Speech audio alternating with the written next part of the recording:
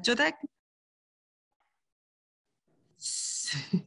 E questa mattina eh, apriamo una eh, un corso al quale eh, tengo particolarmente per il tipo di tematiche che verranno affrontate, lo vedrete in, uh, diciamo, nello sviluppo del corso stesso, un corso dedicato all'ottimizzazione strutturale e come vi verrà eh, descritto in modo eh, credo efficace ed estremamente dettagliato sono delle ehm, procedure, verranno illustrate delle procedure che sono fondamentali per la progettazione strutturale e mi permetto di, di avanzare anche eh, il concetto che sono fondamentali per, la per diciamo, il per il progetto Tucur, perché, sono degli, perché si toccano degli aspetti e si affronteranno degli aspetti che, che effettivamente hanno un'influenza decisiva nella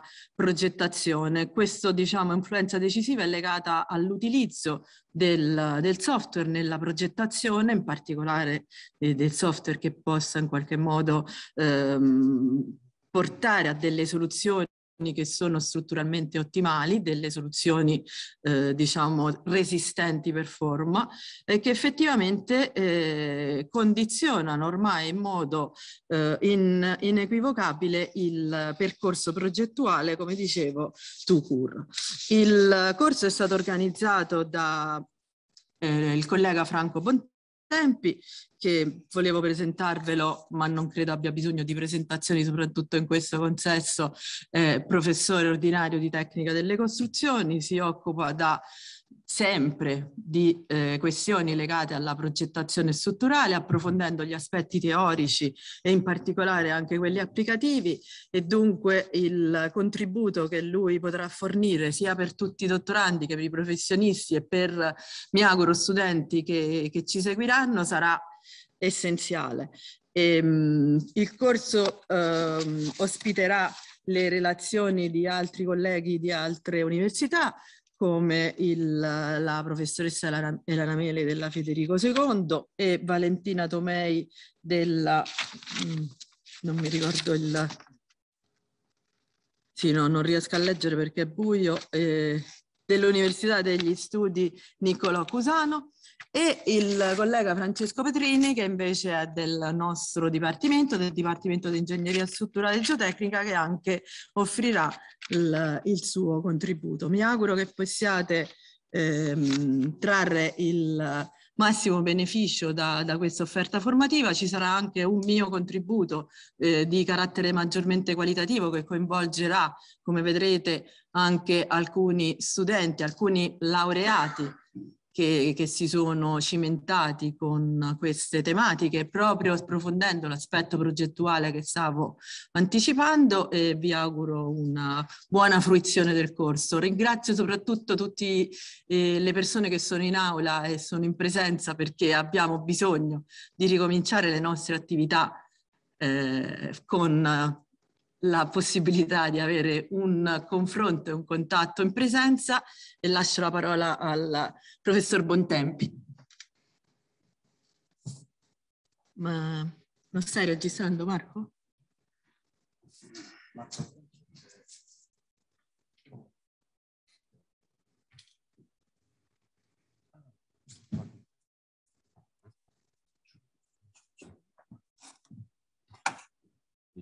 Io di questo.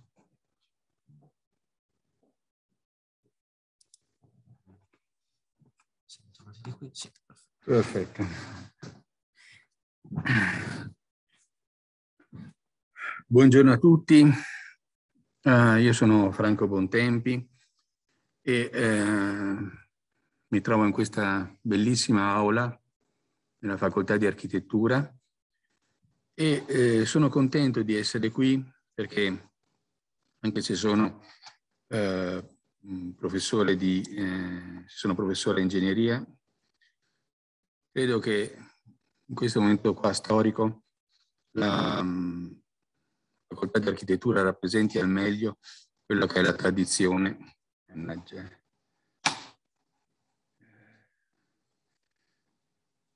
quello che è eh, il tema che affrontiamo oggi.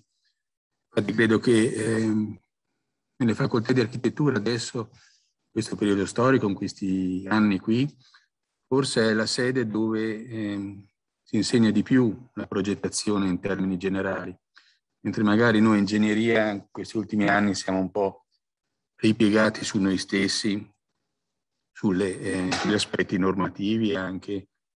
E, infatti la mia lezione presenterà anche alcune critiche eh, su questo modo di insegnare. Prima di cominciare volevo appunto eh, presentarvi quello che è il tema della, della mia lezione e anche in generale del corso che coordino. Voglio anche ringraziare eh, il dottor Andrea Arena che mi ha aiutato nell'organizzare questo evento e anche il dottor Marco Pingaro che è qui con me che mi aiuta eh, nello svolgimento operativo della, della riunione. Indubbiamente anche voglio tornare sulla figura della persona, della professoressa Trovalusci che è delegata dalla rettrice per quanto riguarda l'internazionalizzazione dei dottorati, che è uno dei compiti più difficili e delicati al giorno d'oggi, anche per rendere eh, meno provinciale la nostra, eh, la nostra università. E ringrazio anche proprio la professoressa Tovalusci per avermi concesso, per permesso lo svolgimento di questo corso in questa bellissima aula qua alla Facoltà di Architettura. Ecco, se entriamo nel merito del nostro corso, eh, io trovo che sia necessario riflettere al giorno d'oggi su quelle che sono le basi della progettazione strutturale in senso ampio e anche in particolare dopo arrivare fino agli aspetti anche di dettaglio dell'ottimizzazione strutturale. Questo perché eh, paradossalmente l'introduzione, la possibilità di utilizzare strumenti estremamente sofisticati sia di calcolo ma anche di rappresentazione grafica e informatica, mi riferisco al BIM, e poi infine per noi ingegneri soprattutto per pensare alle norme, ecco tutto questo insieme di possibilità ma allo stesso tempo anche di eh, strumenti che possono eh, annebbiare quella che è la chiara visione di un progettista strutturale, richiedono appunto di tornare indietro e eh, riflettere quello che è la natura eh, del progetto. Questo verrà fatto in queste, eh, essenzialmente in queste tre giornate che qua vedete nel programma, che adesso scorriamo velocemente. Io penso di introdurre aspetti di progettazione strutturale in una maniera forse desueta. Eh, io mi ritengo un professore di tecnica eh, delle costruzioni, un professore tradizionale, e quindi mh, presenterò in questa lezione qua quelli che sono secondo me i presupposti spesso impliciti o non ricordati, non evidenziati di quello che è la progettazione strutturale. È un punto di vista sicuramente non, non forse consueto al giorno d'oggi.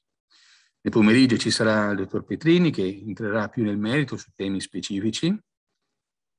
E nel secondo giorno invece mh, mi permetterò eh, anche in base alla mia esperienza come analista strutturale, di 30 anni ho fatto analisi di tutti i tipi, anche formulando programmi elementi finiti, programmi di ottimizzazione, eccetera, eh, mi permetterò di mh, far vedere anche aspetti numerici che non sono sempre evidenziati. In genere, nelle storie che si sentono, si raccontano, c'è una narrativa in cui tutto funziona, tutto va bene e così via. E questo è vero, ma spesso e volentieri se il problema è semplice. Se non è semplice, cominciano ad esserci problemi di convergenza, di rappresentatività, di cose che non tornano e così via. E anche un aspetto che è sempre delicato è quello dopo di valutare la soluzione che si ottiene. Perché eh, c'è un po' una rappresentazione, se volete, anche commerciale e utilizzando un programma, un certo software e così via, la soluzione esca automaticamente. Io credo, anche sulla mia base, sulla mia esperienza, che nella progettazione strutturale, come in tanti altri tipi di progettazione, non c'è nulla di automatico. Questa da una parte è una cosa che può indispettire perché uno vorrebbe qualcosa, un prodotto finito subito, però è anche una cosa importante perché permette al singolo progettista con la sua cultura, la sua capacità di giudizio, la sua euristica di valutare la soluzione e anche alle volte accorgersi se c'è qualcosa che non va. Un aspetto che per me personalmente come professore, ma anche come consulente, come ricercatore, è essenziale, è anche eh, la relazione che c'è tra quello che si fa, in termini di consulenza, di ricerca, ma eh, in connessione con quello che si insegna. Quindi, per esempio, secondo me è molto importante l'intervento della professoressa Trovalusci, che farà vedere anche aspetti, diciamo, proprio di didattica. Quindi, per esempio, illustrerà anche delle tesi di laurea, in cui si vede come si riesce in maniera semplice, intendo dire semplice nel senso positivo, una connotazione positiva, in maniera semplice si riesce a avvicinare le persone con i giusti principi, gli studenti con i giusti principi alla progettazione. Il terzo giorno, l'ultimo giorno che sarà venerdì, invece ci sarà una parte, diciamo, la mattinata più numerica, se volete anche più didattica, chiesto in particolare alla dottoressa Tomei eh, di sviluppare con riferimento alle strutture tipo grid shell, però anche eh, riservare un po' di spazio anche agli aspetti numerici più di base che magari non sono stati visti precedentemente. L'ultimo intervento eh, venerdì pomeriggio, eh, tra l'altro sarà presentato anche, ci sarà anche la presenza di una, una collega che io stimo molto perché è impegnata anche lei nell'attività di ottimizzazione e lavora con, sia con Tomei che con Mele, che è la professoressa in bimbo dell'Università di Cassino. Bene, l'ultimo intervento la professoressa Mele, eh, che ha una posizione, un ruolo ben chiaro all'interno della comunità eh, accademica italiana, riguarderà, svolgerà un intervento su una categoria di strutture speciali, che è quella degli edifici alti. Quindi vedete, in questi tre giorni qua io spero che eh, partendo dalle mie considerazioni critiche, eh, se volete anche ovvio, probabilmente dimenticate, su quello che è la base della progettazione strutturale, attraverso mm, temi più specifici come quelli eh, del performance-based design fatto dal eh, dottor Petrini, oppure le strategie di ottimizzazione per le strutture grid shell, fino ad arrivare agli edifici eh, alti, e non dimenticando l'intervento sul coinvolgimento degli studenti di laurea della professoressa Trovalusci, spero che abbiate non sicuramente, non avrete sicuramente un quadro complessivo della progettazione e ottimizzazione strutturale, ma avrete, penso, e sono sicuro, anzi, eh, uno sguardo magari non ovvio, non banale, non di quelli usuali sull'ottimizzazione strutturale.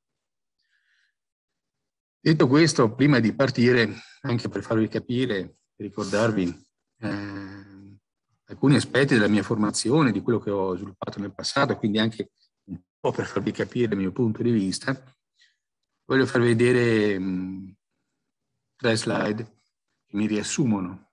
Io nell'83, quando sono arrivato al Politecnico di Milano, programmavo eh, perforando le schede io sono sempre stato un programmatore, quindi per almeno 10, 10 anni, 15 anni ho eh, sviluppato codici di calcolo, di analisi elementi finiti, statici, dinamici, lineari, lineari, eccetera, perché negli anni, fine degli anni 80, inizio degli anni 90, io, eh, come tutti, come tutta la comunità, non avevo a disposizione strumenti di calcolo.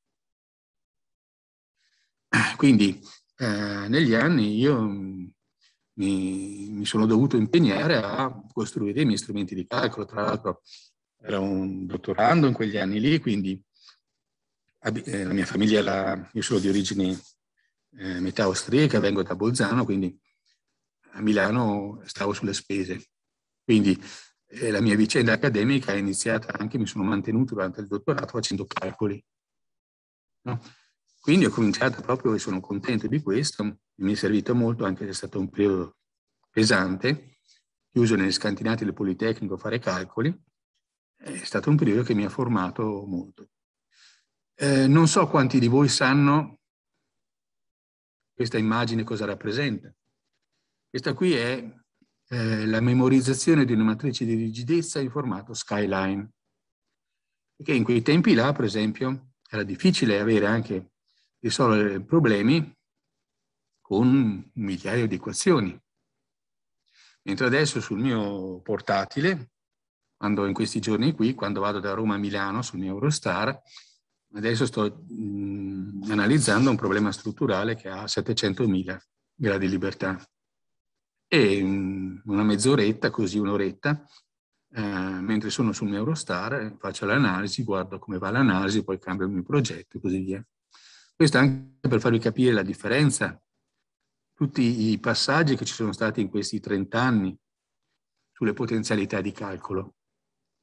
E proprio perché ho smontato e rimontato la macchina migliaia di volte, mm, mi permetto, mi permetterò nel seguito del mio intervento di far vedere alcuni spunti, alcune cose e magari essere critico su certi eh, strumenti o sull'utilizzo di certi strumenti. Questo è il mio primo incarico come docente universitario. In quegli anni lì ero ricercatore al Politecnico Milano di Scienze delle Costruzioni e mi è stato affidato un corso alla Facoltà di Architettura a Bovisa, al Politecnico Milano, che nessuno voleva fare. Io, siccome ero l'ultimo arrivato e avevo bisogno di costruirmi un curriculum, ho accettato questo corso che nessuno voleva, e probabilmente l'ho avuto perché nessuno lo voleva, e il corso era il corso di ottimizzazione e identificazione delle strutture presso la Facoltà di Architettura di Bovisa e Politecnico Milano.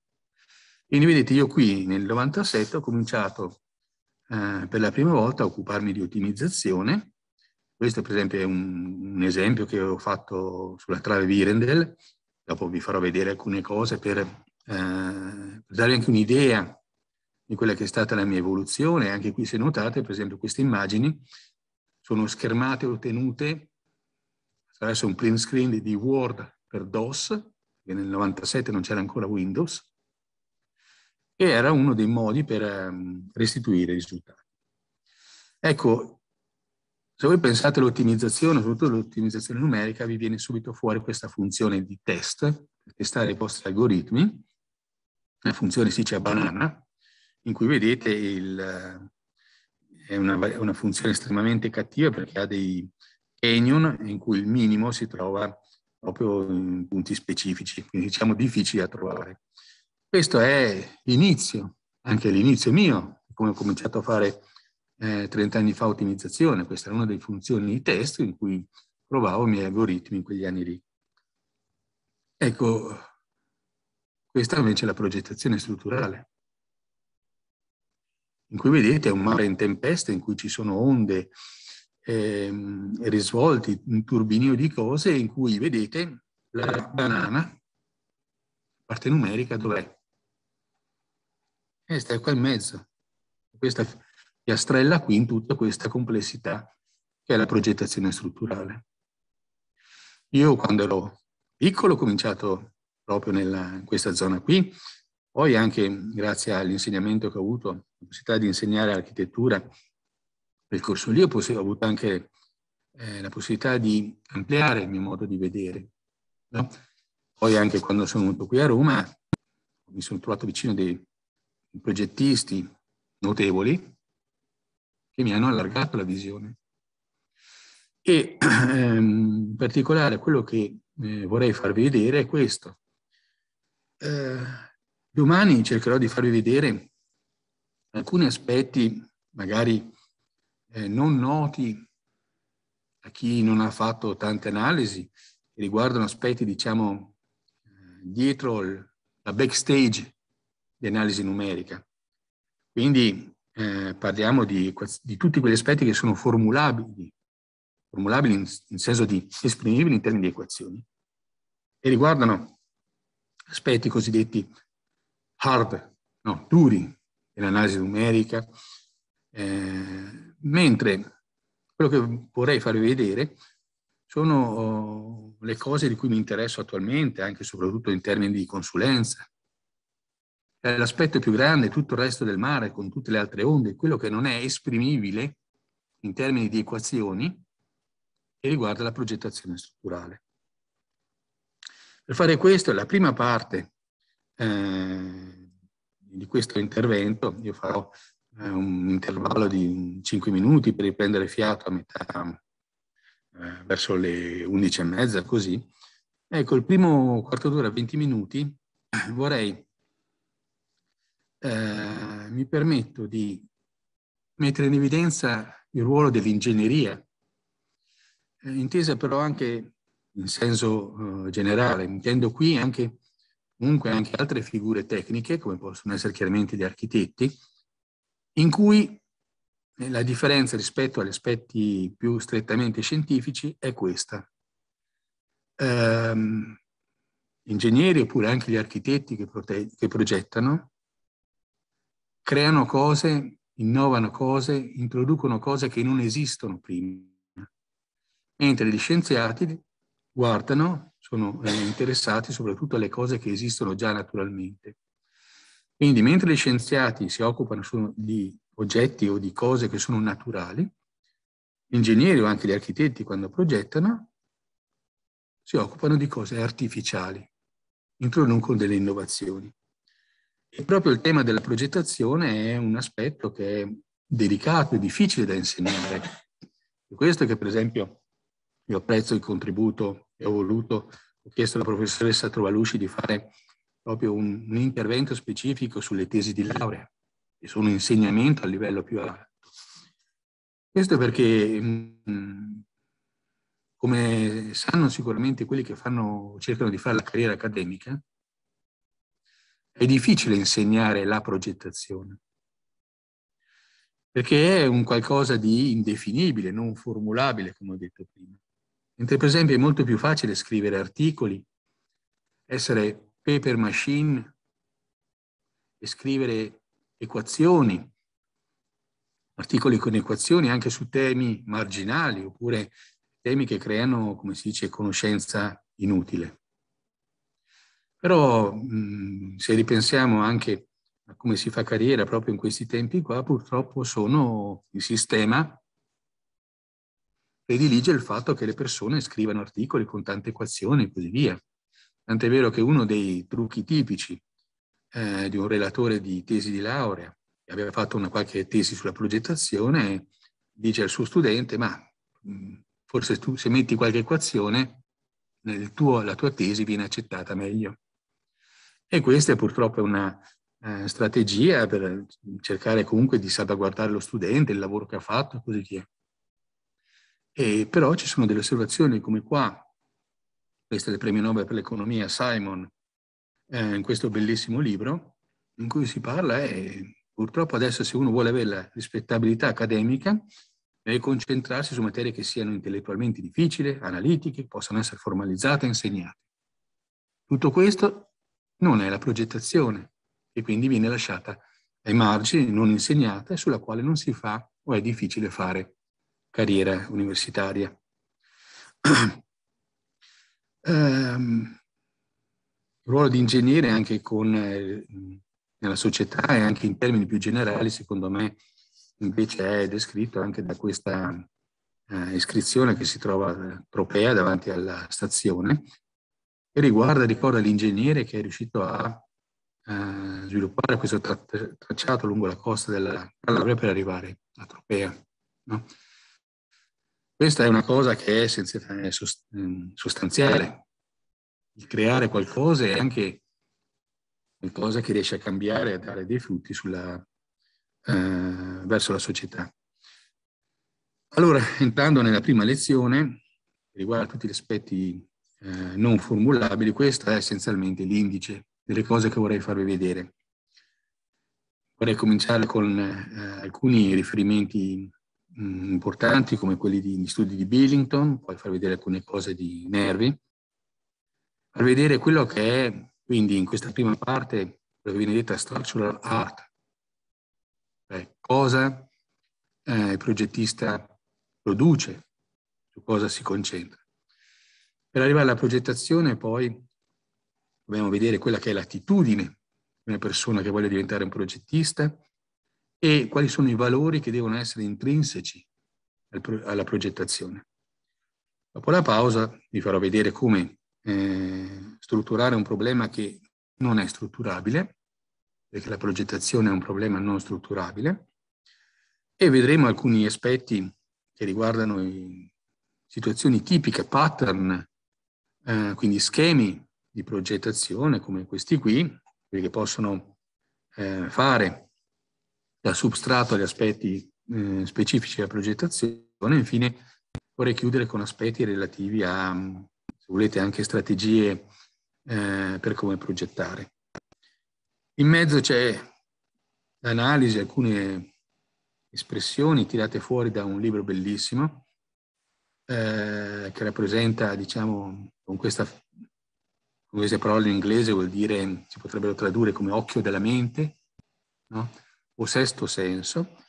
E questo qui è uno dei tanti libri che eh, mi permetterò di indicarvi, perché io non credo sinceramente che in queste poche ore ehm, possa darvi tutto eh, quello che si può eh, ritenere importante nella progettazione. Quindi dopo anche ritrovare, rileggere, meditare con i libri che vi indico, che sono stati quelli che mi hanno formato in questi anni, penso che sia una cosa importante. Uno dei libri più significativi per me nell'ingegneria è questo qui di Billington. Billington, un professore di Princeton, che ha analizzato la storia, almeno quella recente degli ultimi due secoli, dell'ingegneria strutturale, introducendo il termine art, nel senso indicare che le opere di ingegneria strutturale sono delle opere d'arte.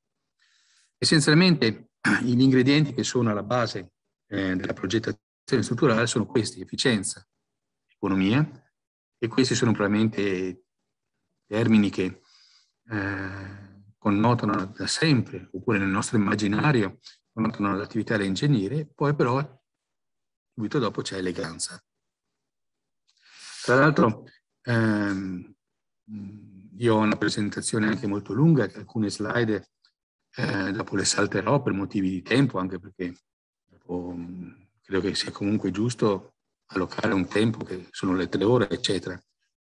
Resta il fatto vi anticipo subito che tutte le slide eh, saranno rese disponibili alle persone che seguono, quindi dopo anche tanti riferimenti, anche tante frasi e così via, non preoccupatevi di eh, eh, appuntarvele subito perché dopo comunque con calma avrete tutto questo materiale che ripeto è per forza di cose necessariamente da approfondire se volete effettivamente entrare nel merito delle cose. L'efficienza è una cosa che indubbiamente mh, mm, fa parte del, dell'ingegneria, della progettazione, no? E ehm, mm, nelle frasi di, di, Billington che qui trovate, eh, gli aspetti relativi all'efficienza, quindi alle poche risorse, la conservazione delle risorse, il fatto che comunque abbiamo pochi soldi eh, a disposizione, è visto non come un aspetto completamente negativo, ma come uno stimolo che permette lo sviluppo di soluzioni significative. Quindi questo è un tema ricorrente, alle volte sono proprio i vincoli che permettono la realizzazione di un progetto significativo.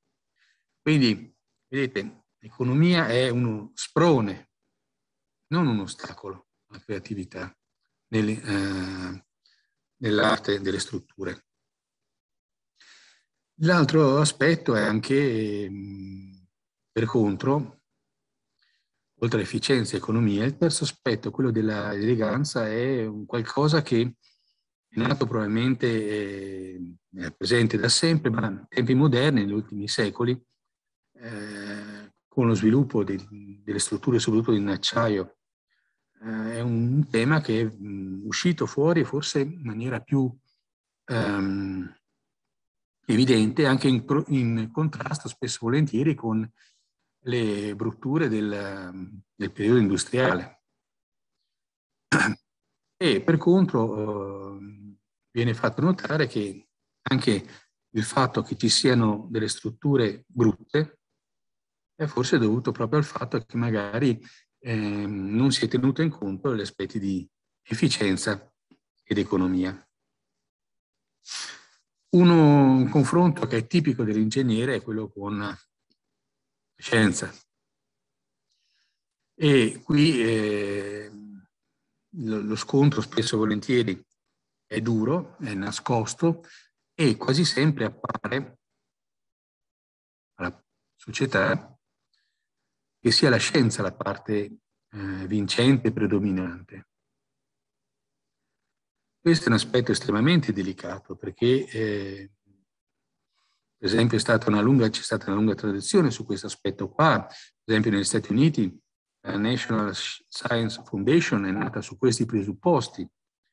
Um, quello che conta è la ricerca di base, aspetti più scientifici che dopo eh, servono a eh, far avanzare anche l'ingegneria. Questo non è vero non è in assoluto vero.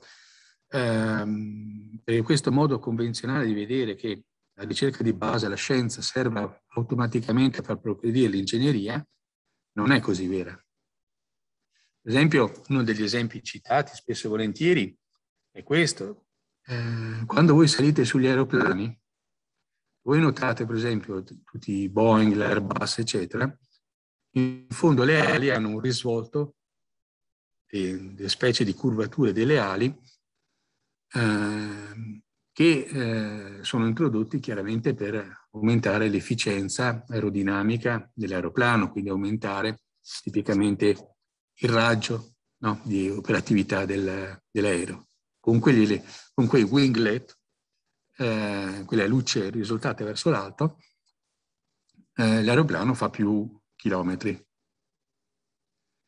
Ecco, quello lì, è una delle invenzioni più importanti nell'aeronautica, è stato fatto, è stata introdotta da una persona che aveva grande esperienza anche in laboratorio, ma non aveva nessuna, oltre a questo, nessuna speciale eh, abilità scientifica. È stata una scoperta, se volete, possiamo dire artigianale, ovvero se volete proprio nel senso vero della parola, ingegneristica. Questa stessa persona che non ha avuto nessun ruolo accademico, nessuna preparazione scientifica particolare, era un ingegnere che lavorava in un laboratorio, in una galleria del vento, per esempio ha introdotto anche la seconda più importante innovazione nell'aeronautica, diciamo moderna, che è la conformazione della fusoliera negli aeroplani che superano la barriera del suono volano a velocità supersoniche.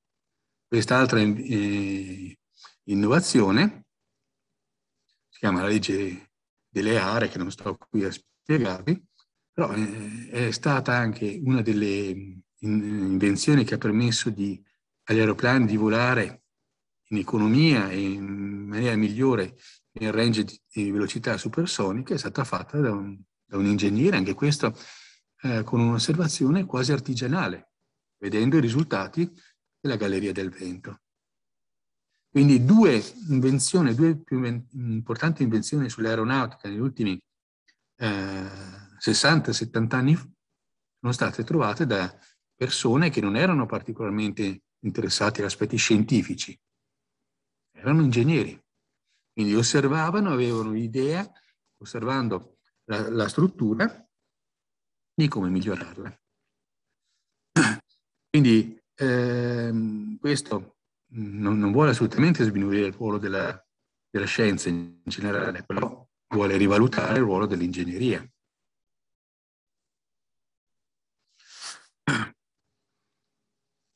E ehm, forse eh, delle, alcune osservazioni che si possono fare, ehm, cose più specifiche, sono queste.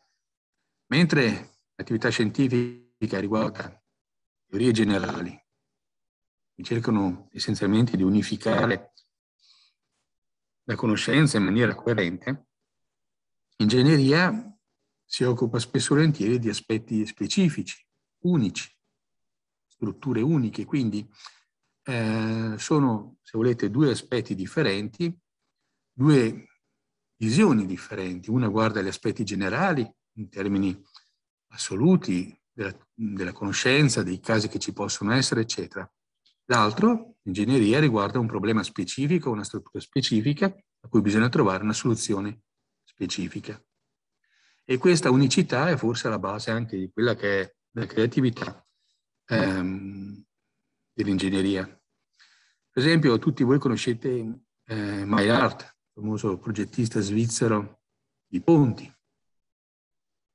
Questa persona è stata contrastata anche pesantemente dagli scienziati di allora, perché la forma dei ponti che aveva in testa Maillard era non standard, non quella diciamo, consueta dal punto di vista generale scientifico.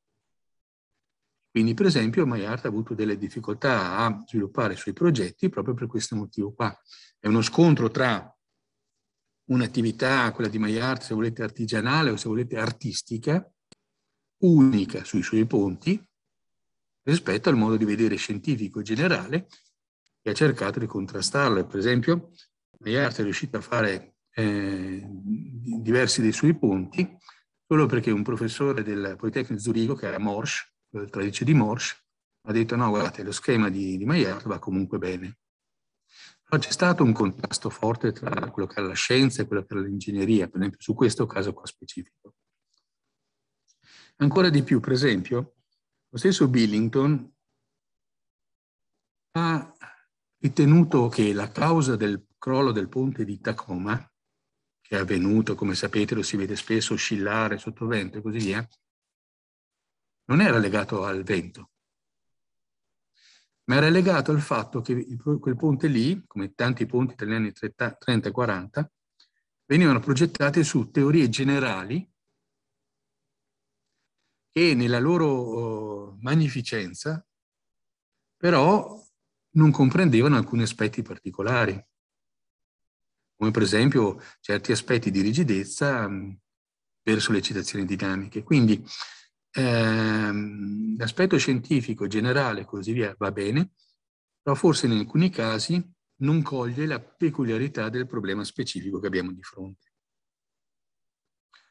Questo per quanto riguarda eh, gli aspetti del confronto tra eh, scienza e ingegneria. Sullo specifico, eh, sulla parte proprio diciamo di, di strutture, per Billington eh, una struttura ha sempre queste eh, tre dimensioni, questi tre aspetti, queste tre caratteristiche. Una è sicuramente che deve obbedire a leggi di natura, quindi la gravità e quant'altro. Il secondo aspetto dell'ingegneria, la progettazione, è che eh, si ha un ruolo sociale, quindi ci si immerge in quello che la società vuole e ehm, che desidera. Questo soprattutto sugli aspetti economici. Pensate prima all'immagine di quell'ingegnere che ha fatto la ferrovia per Tropea. Il terzo aspetto della, di un, dell'attività di un ingegnere, di un progettista strutturale, ovvero di una struttura, è l'aspetto simbolico. Il fatto che qualsiasi costruzione eh, riflette dei simboli della società al suo contorno. Ci sono anche eh, degli aspetti, anche altre osservazioni che si possono fare sempre su una struttura e riguardano anche la differenza, per esempio, tra una struttura e una scultura. No? Questo è un bellissimo libro di Schödeck che mh, illustra tutte le, tutti, diciamo, quello che sta dietro una struttura, a una scultura in termini strutturali. E, per esempio, eh, in queste frasi qui mh, mm, eh, si trova la differenza di tutte quelle discipline che lavorano nello spazio, conformi nello spazio. Per esempio, una scultura essenzialmente riempie lo spazio con i suoi volumi. Un'architettura invece lavora conforme nello spazio, ma essenzialmente cerca di organizzare gli spazi vuoti per avere una funzionalità, una, un utilizzo degli spazi vuoti e anche eh, di racchiudere gli spazi. La struttura invece quindi l'ingegneria, lavora sempre nello spazio, ma fondamentalmente per sopportare eh, i carichi. Quindi eh, per il strutturista, per il progettista strutturale, sicuramente c'è l'aspetto scientifico, però dopo l'aspetto essenziale, quello, l'idea centrale è quella di eh, individuare delle forme artificiali nuove per controllare le, um, le forze.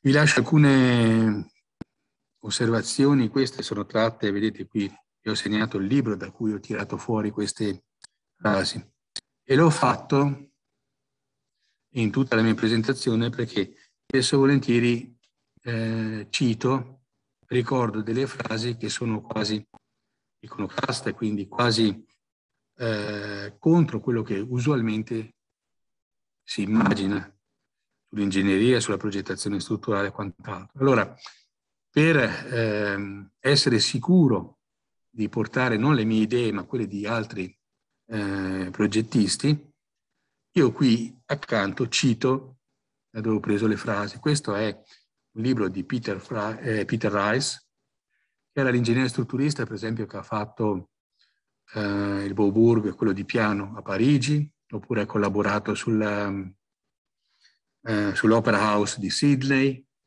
e così via. Quindi uno dei maggiori strutturisti eh, dell'ultimo secolo. E per esempio, eh, vedete qui c'è anche questo grido di, di, orgoglio. Io sono un ingegnere.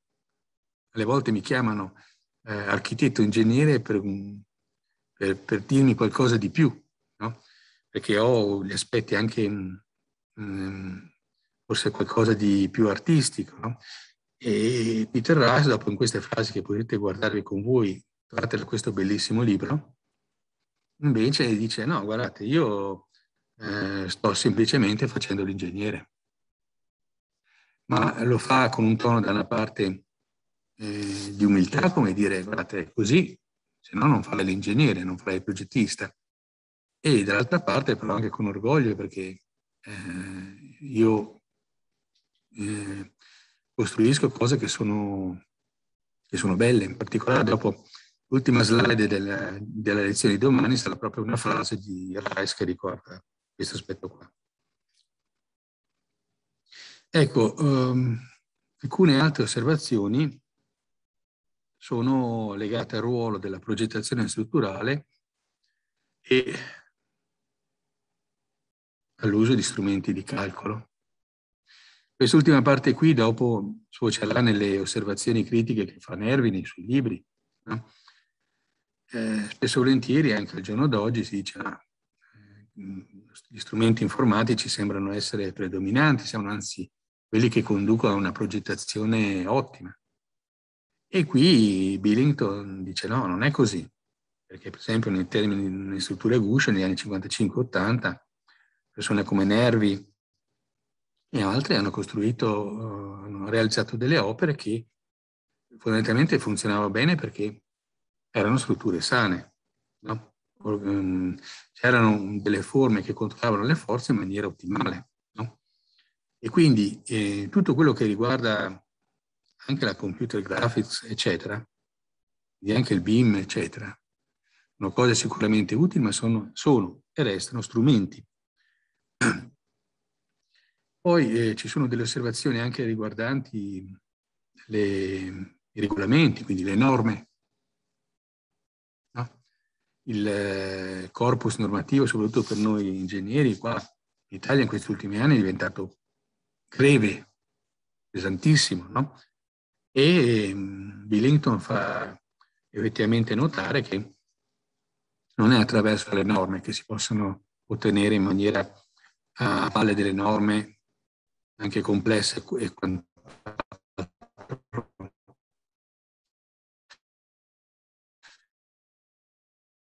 eh, ottenere strutture eh, significative. Di, di nervi, questo libricino qua, scienza o arte del costruire. Vedete che eh, giriamo sempre a questo aspetto qui. eh, per queste persone qua, queste che cito, la progettazione strutturale, quindi l'ingegneria è una struttura, è anche arte, anzi è più vicina all'arte di... Tra l'altro, ehm, a valle di questo libro, Scienza, Arte del Costruire, era stata anche una mh, mm, protesta, una critica notevole, feroce verso Nervi, perché Nervi aveva, diciamo, mh, mm, era sembrato che Nervi criticasse o sminuisse l'approccio scientifico, le equazioni, i calcoli eh, per fare un progetto. E quindi mm, sulla prima pagina dell'ingegnere del luglio 31 era stata questa alzata di scudi dicendo no, eh, le equazioni, i calcoli e così via servono. E in effetti mh, mm, Nervi nel suo, nel suo, testo non aveva proprio eh, criticato in maniera mh, mm, completa l'aspetto scientifico nella progettazione strutturale, però aveva detto che, guardate, eh, spesso e volentieri eh, gli aspetti analitici, gli aspetti scientifici disturbano la visione del problema strutturale. Eh, per esempio negli studenti anche provocano dei distacchi tra la mentalità necessaria per fare un progetto in maniera sintetica, coerente, chiara, eh, facendo perdere di vista agli studenti quella che è la sensibilità statica che un progettista deve avere eh, che è quello che serve e in particolare per esempio anche eh, apparati analitici pesanti possono allontanare dalla, dalla comprensione del comportamento strutturale. E in particolare, per esempio, una delle cose che cita, alle volte ci sono delle esattezze scrupolose nelle teorie, che però sono solo approssimative rispetto alla realtà. Quindi tu usi un approccio estremamente sofisticato e rigoroso, però su una cosa che è più sfumata, più eh, imperfetta, e quindi usi uno strumento che non, non si adatta a quello che è la realtà. E su questo, per esempio, ci sono delle frasi che sono significative, su cui bisognerebbe meditare, anche e soprattutto eh, per i professori che insegnano. L'invenzione strutturale non è favorita da eleganti soluzioni matematiche. E cita per esempio dei casi in cui si sono confrontati in seminari eh, personaggi famosi come Giulio Kral o Gustavo Colonnetti, no? eh, sul fatto che c'erano delle formulazioni bellissime dal punto di vista analitico, però non riflettevano quello che è la realtà fisica. Quali sono le attitudini? Cioè, l'orientamento che una persona che voglia fare progettazione deve assumere.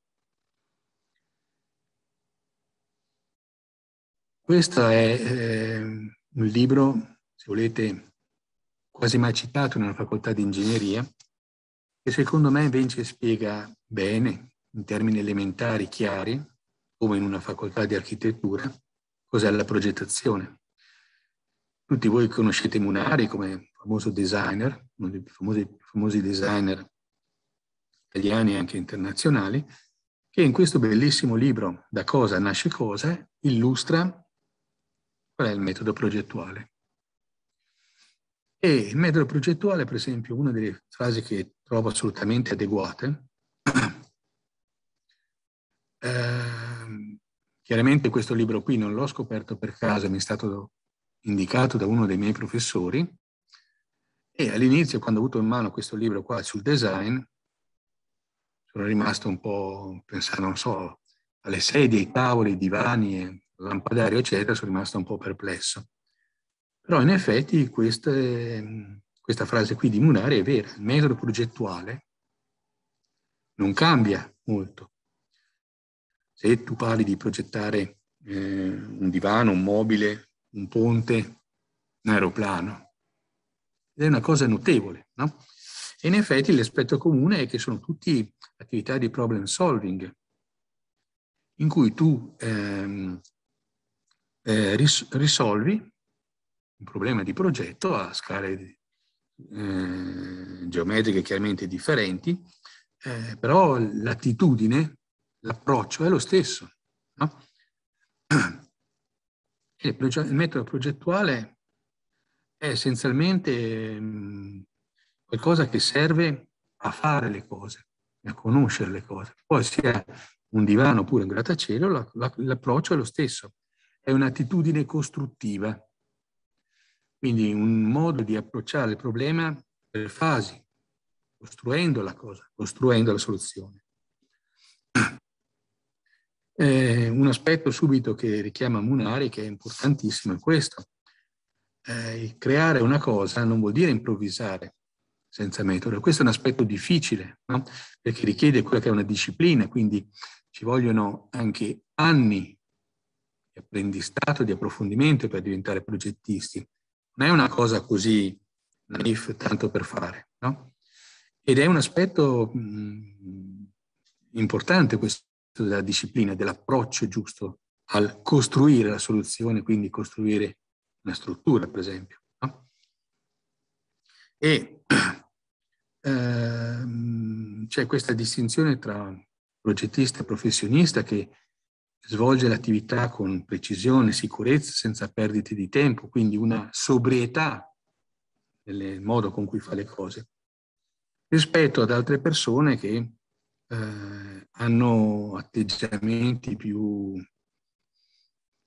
eh, immaginifici. Qui c'è una critica anche a quelle che sono al giorno d'oggi anche le archistar.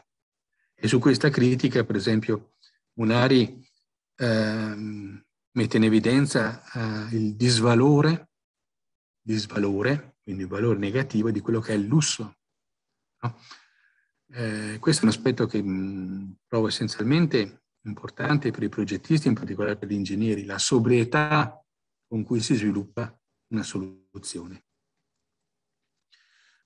Um, Qui c'è anche il richiamo a un'altra frase relativa sempre al lusso, in contrasto con l'onestà e la sincerità della struttura, una frase di Nervi chiaramente. No? Secondo valore che mh, Nari mette in evidenza è la semplicità, di semplificare le cose. Ed è un aspetto che mh, è un lavoro difficile che esige molta creatività il semplificare. Poi Munari anche, eh, per esempio, fa un'osservazione critica che è molto, è un'osservazione di uno che lavora sul concreto. Fare una cosa semplice, dopo eh, si rischia di non farla capire al committente, quindi se volete anche in termini brutali non essere pagati. Perché la critica ma se è così facile, è così semplice, per... e invece eh, dietro questa semplicità, anche per Nervi, c'è un lavorio, una disciplina pesantissima. Quindi la semplice correttezza eh, non è un, un risultato eh, negativo, non è un qualcosa di mediocre, di scarsa importanza, è un aspetto che è essenziale. Ci sono aspetti anche richiami a termini anche oggi forse anche sostenuti maniera un po' per moda, come la sostenibilità, eccetera, resta il fatto che eh, un'opera strutturale non ammette soluzioni arbitrarie e formali. No? Quindi è figlio di tutta questa disciplina eh, nel creare qualcosa.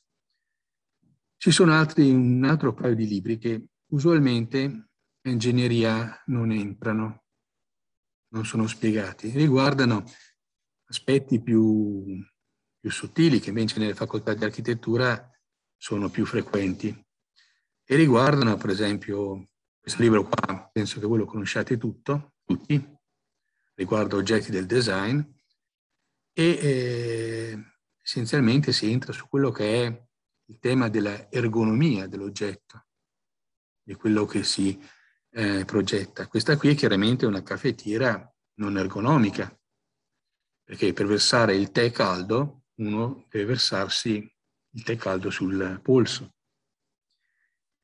Ci sono anche altri libri che a me piacciono molto, che vengono dal mondo del design, quindi sono anche lontani dalla mia formazione di formazione ingegnere strutturista, ma però mi hanno permesso nella mia attività di capire come fare una struttura, anche se non è la caffettiera.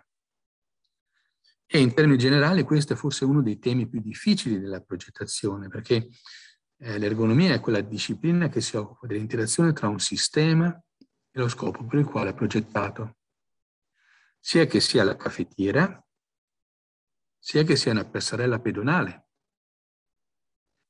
E questa passerella pedonale non è ergonomica, perché non, può essere utilizzata con difficoltà dalle persone che scivolano sui gradini di vetro, oppure può non essere utilizzata dalle persone che sono disabili sulla carrozzella. E quindi questa struttura non sana, non ergonomica, ha bisogno di continui eh, patch, di pezze per funzionare. No?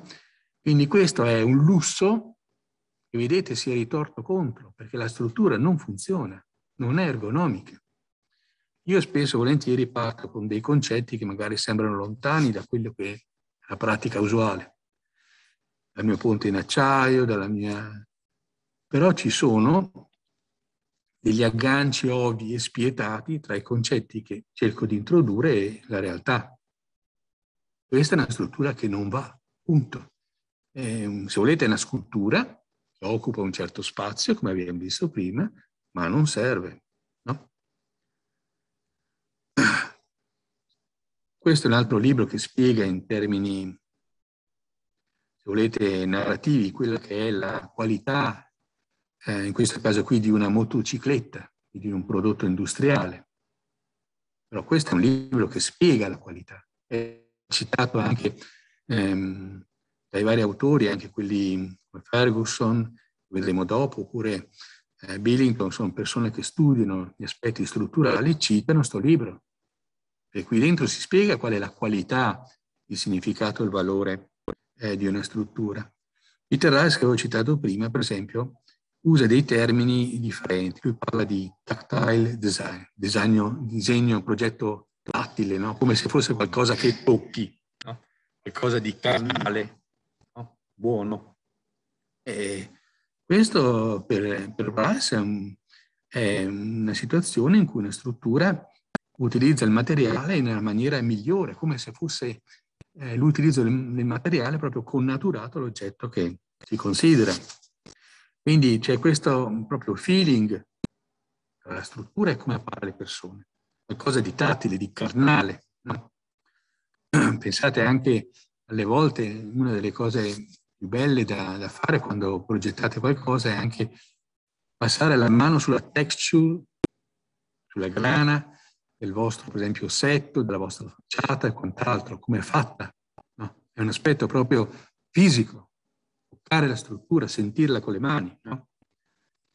E anche, per esempio, pensare a avere l'idea di tutte le persone, tutte le cose che sono passate per quella struttura e passeranno qualcosa proprio di fisico, anche se volete di animale. No? Quindi qui stiamo parlando di aspetti della struttura che sono veramente, credo, eh, possono sembrare lontani da quello che è l'ingegneria normale, la progettazione, però sono sensazioni proprio dell'intimo dell'uomo e di come interagisce con la struttura. Non voglio... Ehm, entrare oltre su questa attitudine qua, voglio soltanto riprendere alcuni aspetti, forse anche di sintesi, di questa prima parte della, della lezione, che riguarda l'importanza, qui c'è ancora Nervi, della comprensione del comportamento statico di una struttura. Per esempio, eh, se voi adesso aprite dei libri di tecnica delle costruzioni recenti, essenzialmente li trovate pieni di commenti di norme tecniche, dei commentari o degli eurocodici, che sono aspetti notarili che però sono lontani, come abbiamo visto, dalla, dalla progettazione vera e propria, mentre ci sono dei libri eh, vecchi, se volete, e io in questo sono un vecchio professore di tecnica, per esempio questo è un libro di Pagano, Teoria degli edifici, in cui viene espressa quella che è l'esperienza quotidiana, l'osservazione di una struttura da parte di questo professore della eh, Federico II, professore tra l'altro che credo sia rimasto associato, non sia mai diventato ordinario, forse anche per la sua il taglio con cui insegnava e faceva anche di conseguenza ricerca. Bene, nel libro di Pagano ci sono figure che rappresentano modellini, modelli delle strutture in muratura, come si comportano, per far capire allo studente veramente, guarda, l'oggetto è questo, la realtà è questa. Poi ci sono anche equazioni, però l'oggetto è questo. E questi sono libri che permettono la, la formazione della mentalità di un progettista. No? Dopo nelle slide che vedete dopo, che vi leggerete, ci sono critiche eh, e osservazioni successive di Nervi sempre eh, su quello che si può, quello che è corretto fare in termini di progettazione quello che invece alle volte eh, diventa un contrasto alla progettazione sana, per esempio uh,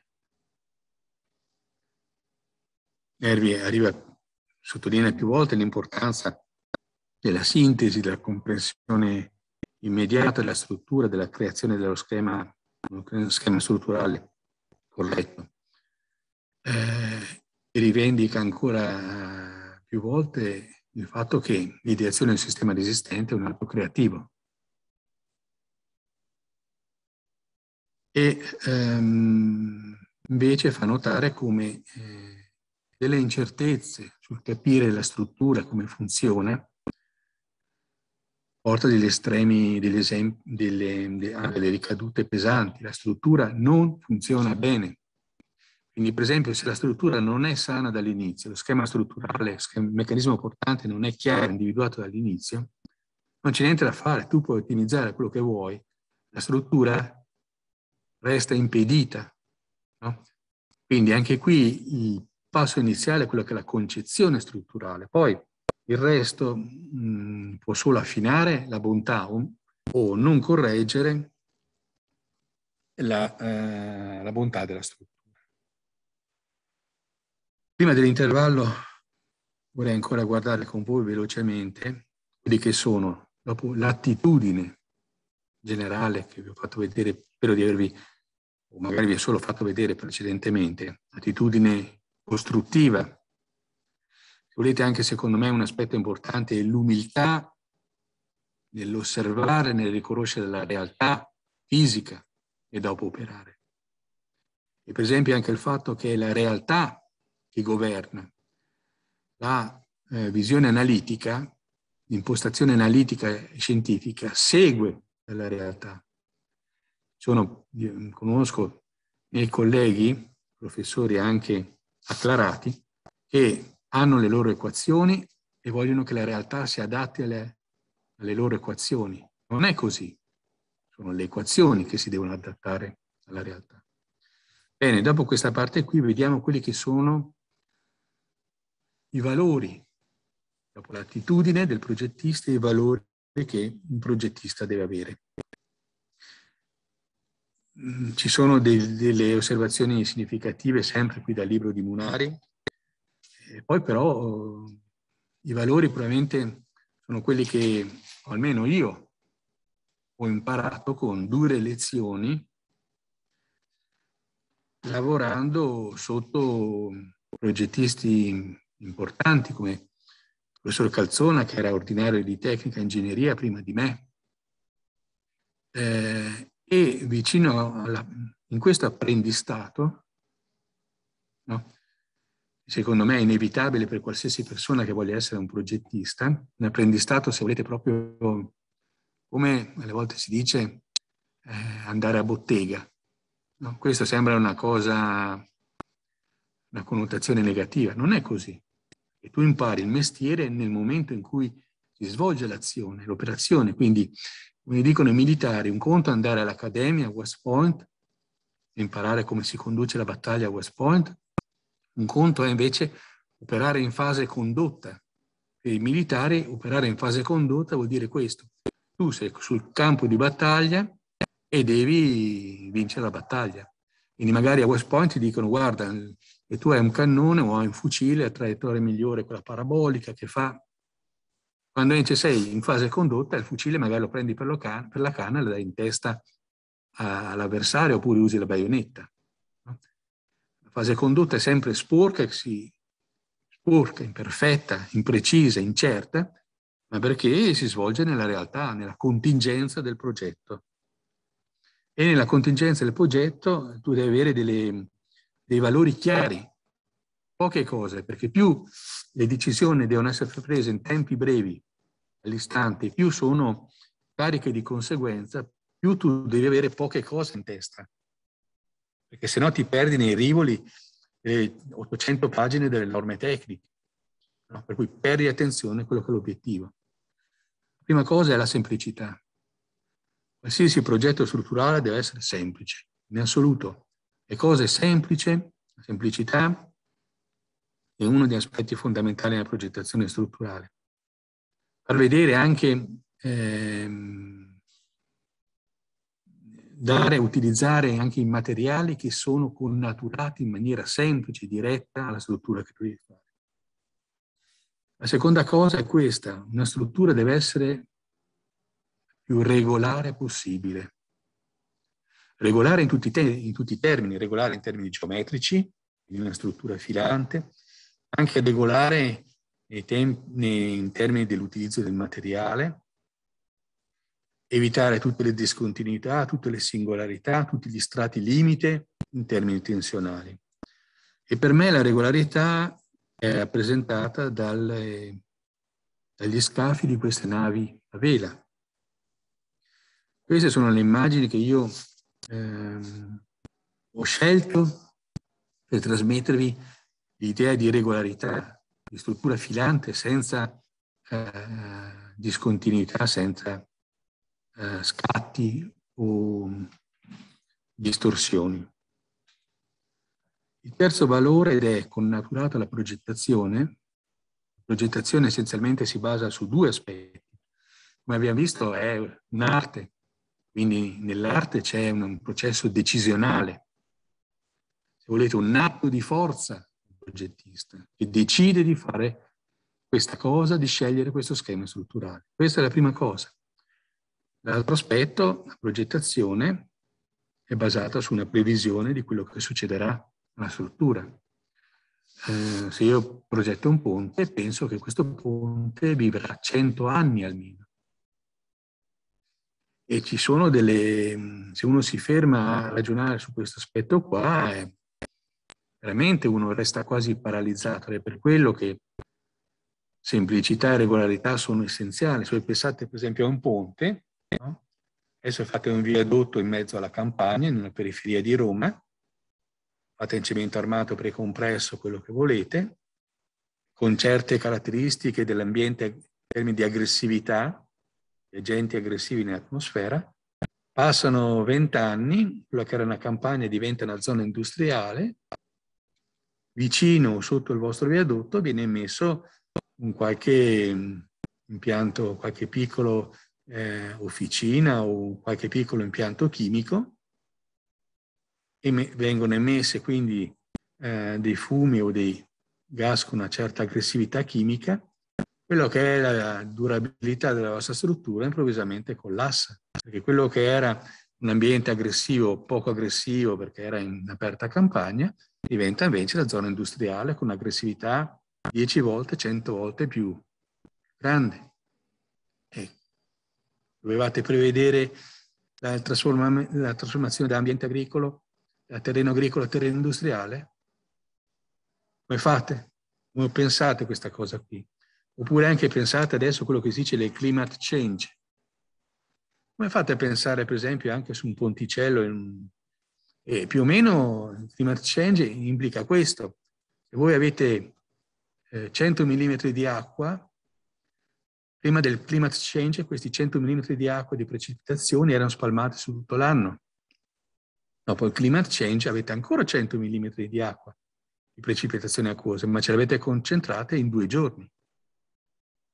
Quindi anche lì prevedere come è fatto il ponte, il ponticello e così via, è un aspetto che è nella natura della progettazione, no? pensare a quello che succederà.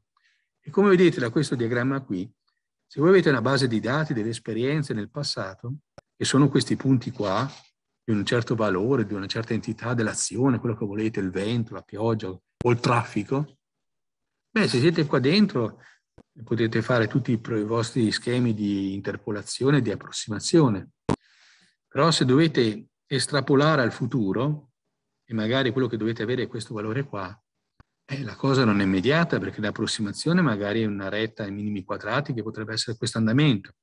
Un'interpolazione di Lagrange magari vi arriva un polinomio che andrebbe verso il basso. Quindi questo è un aspetto eh, significativo.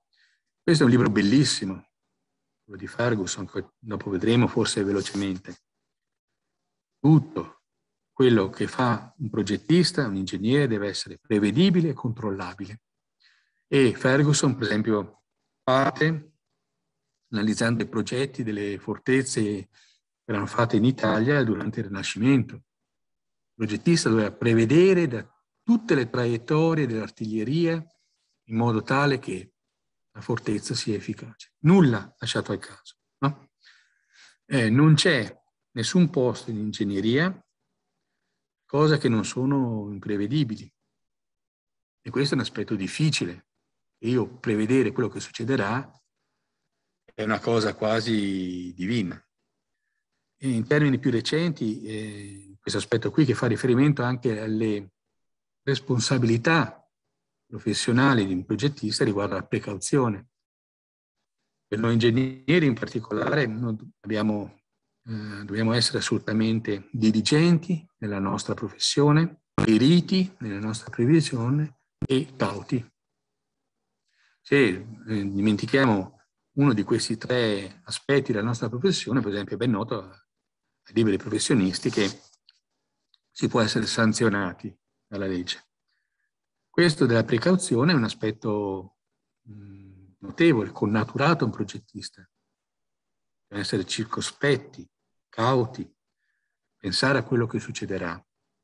E in termini anche più generali, questo è tradotto nel principio di precauzione, che è un principio generale, in particolare, per esempio, introdotto soprattutto per quanto riguarda le medicine, ma vale per tutto, per tutte le nostre attività. E per esempio questo principio può sembrare lontano magari dalla nostra pratica, ma se riflettiamo, questo non è il caso. Per esempio questo è un congresso, New Structures, eh, degli anni 60, in cui veniva presentato come nuovo materiale eh, magico l'asbesto che è l'amianto. L'amianto eh, mescolato con la malta cementizia, eccetera, produceva un materiale che effettivamente aveva delle caratteristiche notevolissime, sia in termini di isolamento, ma anche di resistenza statica. Dopo si è scoperto che eh, l'amianto non andava bene per altre cose. Non era stato cauto l'utilizzo di di questo materiale. Anche qui vedete, io cerco alle volte di, vorrei anche alle volte, voglio, volte richiamare, ho fatto prima con l'ergonomia, però vi ho fatto subito vedere un controesempio. Io uso il principio di precauzione, però vi dico, guarda che non è una cosa banale, perché qui è successo. Pensate a tutti i problemi che ci sono. Ed è successo ripetutamente. Questa è anche per dire la cautela che il progettista deve avere nell'introdurre nuovi materiali, nuove tecnologie, nuovi oggetti nella sua struttura. No? Ed è una cosa non banale, perché spesso e volentieri adesso ci sono dei propugnatori di materiali nuovi, innovativi quant'altro che sembrano la soluzione di tutti i problemi. Faccio vedere un altro esempio che vi deve mettere, mettere il progettista eh, in cautela, in allarme.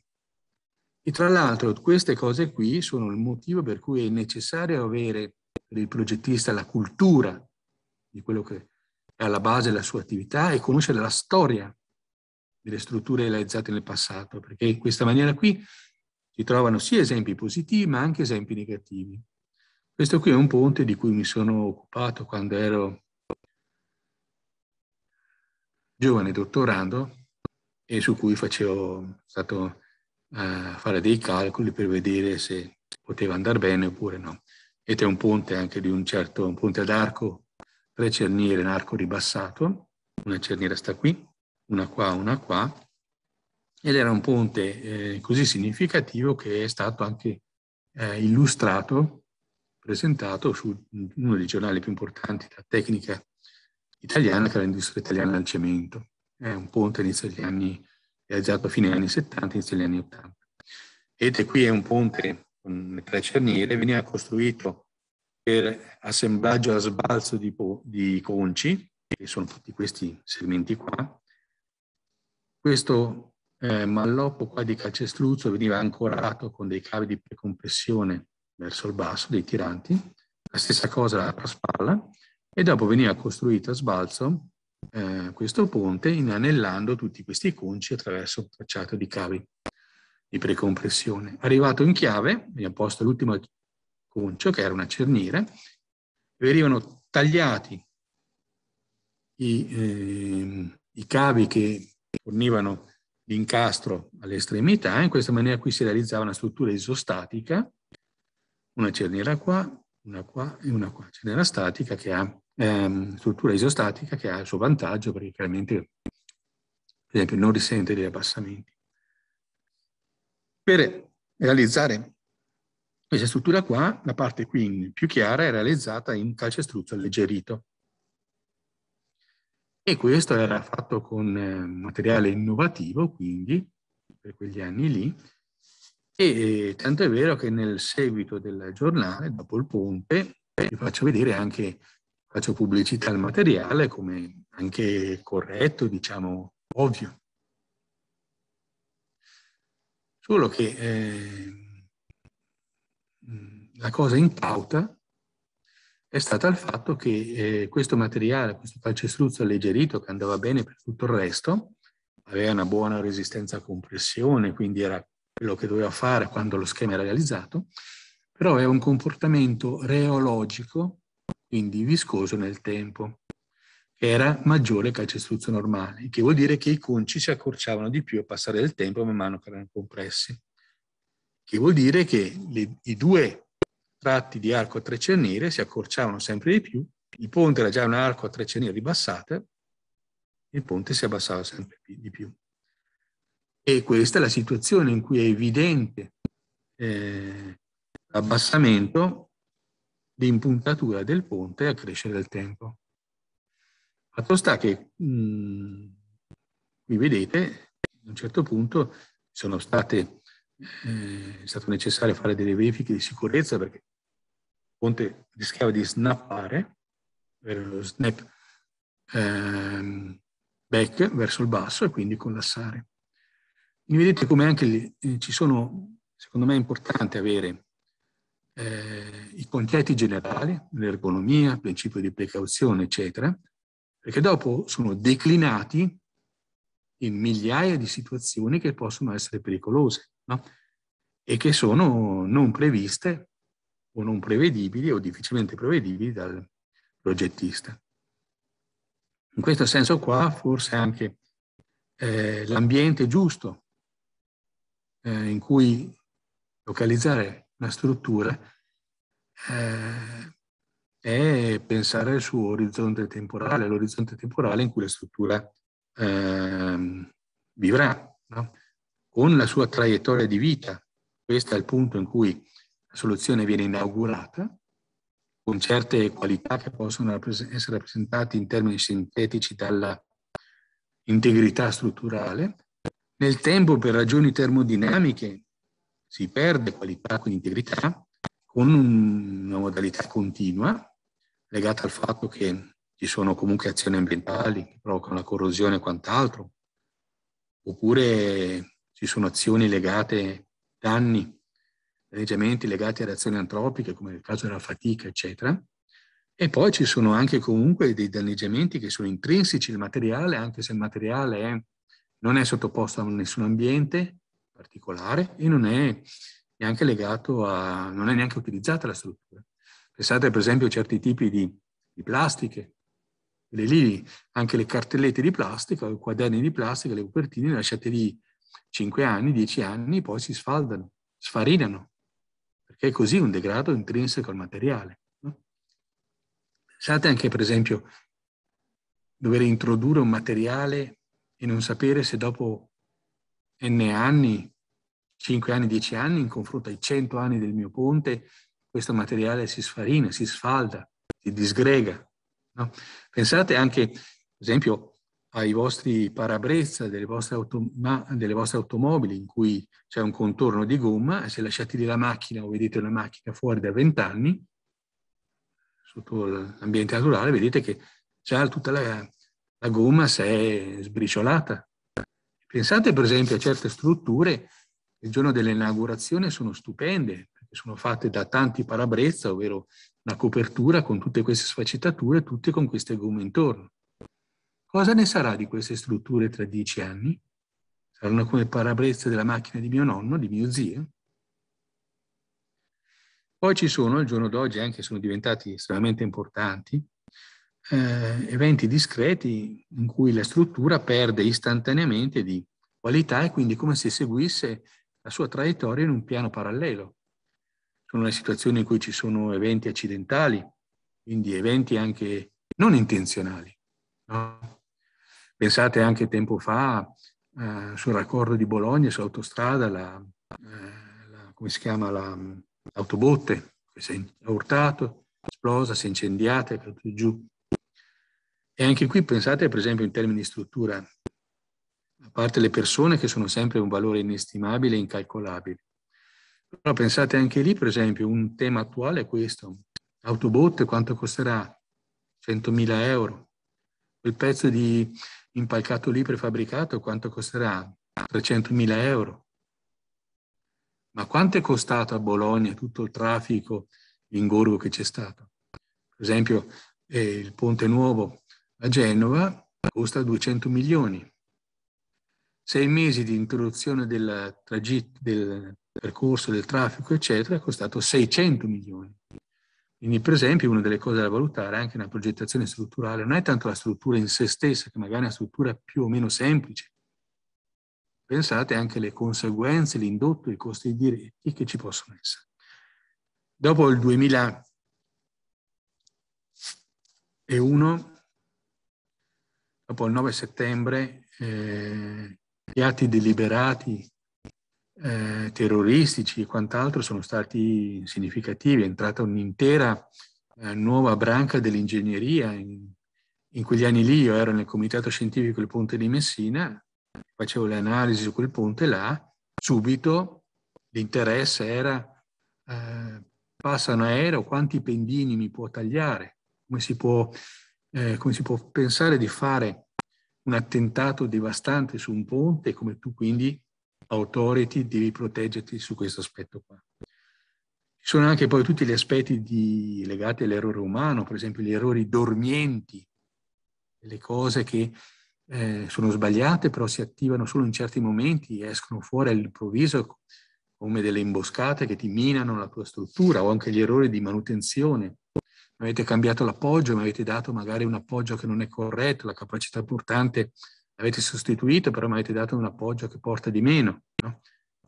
Per non parlare poi degli aspetti dolosi, quando effettivamente non si fanno le cose che si dovrebbero fare. Tutte queste sono in genere situazioni che emergono all'improvviso e eh, minano la qualità strutturale l'integrità strutturale. Per esempio, la capacità di sopravvivere a eventi di questo tipo qua, discreti, alle volte anche pesanti, inaspettati, è legata alla proprietà strutturale della robustezza, mentre il contrastare, essere capaci di mantenere la propria qualità nel tempo, tutte queste motivazioni qua termodinamiche, è legato alla durabilità.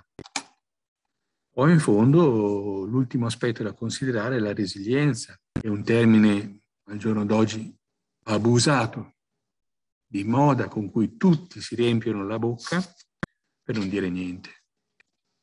Resilienza vuol dire essenzialmente questo, quanto più è facile riportare la struttura, dopo che è degradata per certi motivi, a un livello soddisfacente. Quindi in un certo senso anche la riparabilità. Vorrei dire due parole sul valore della durabilità. La durabilità è una minaccia che può essere dormiente, nel senso che, come vedete, se voi fate anche un calcolo molto semplice, pensate di appendere un lampadario con un cavo, tipicamente la corrosione vi riduce il cavo eh, di 8 eh, frazioni di millimetro all'anno, quindi l'area resistente si riduce al quadrato, Beh, eh, la corrosione anche in questo caso qui è un andamento di questo tipo qua. Per anni sembra che non succeda niente. Poi esplode. Esplode con un andamento che è iperbolico. Questo accanto è una crescita esponenziale di una qualche quantità, amplificazione dello stato di sforzo. Però nel caso di compressione, di degrado, di corrosione, nel caso del vostro lampadario, la crescita è iperbolica. Una funzione iperbolica ha un asintoto e una crescita maggiore. Ed è evidente che una protratta assenza colposa e dolosa della dovuta manutenzione ordinaria, dopo un certo punto fa invocare un evento imprevedibile per cui si deve attivare la manutenzione straordinaria con costi che saranno addebitati a qualcun altro ma non a me che non ho fatto la manutenzione ordinaria. Questa è una cosa tipica mm, di tutto il mondo, però in particolare dell'Italia. Quante malfunzionamenti danni sono dovuti a atti di Dio, come si dice. La struttura deve essere sana, perché eh, deve essere quindi sana nel senso non fragile, non prone al degrado. Questa è una struttura fragile, bellissima il giorno dell'inaugurazione, dopo due anni parte la corrosione con tutte le sue tracce. Nervi infatti dice, guarda,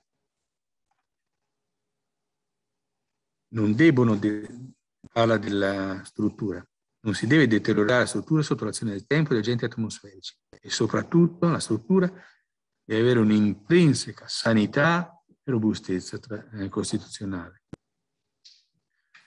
Proprio sulla robustezza ci sono alcuni aspetti che sono importanti e riguardano per esempio come la struttura o come le strutture sopravvivono a degli incidenti. E questo è un concetto che non è soltanto dell'ingegneria strutturale civile, è un concetto dell'ingegneria strutturale court, degli aeroplani e delle navi. È un mio modo di vedere, però non sono l'unico, condiviso.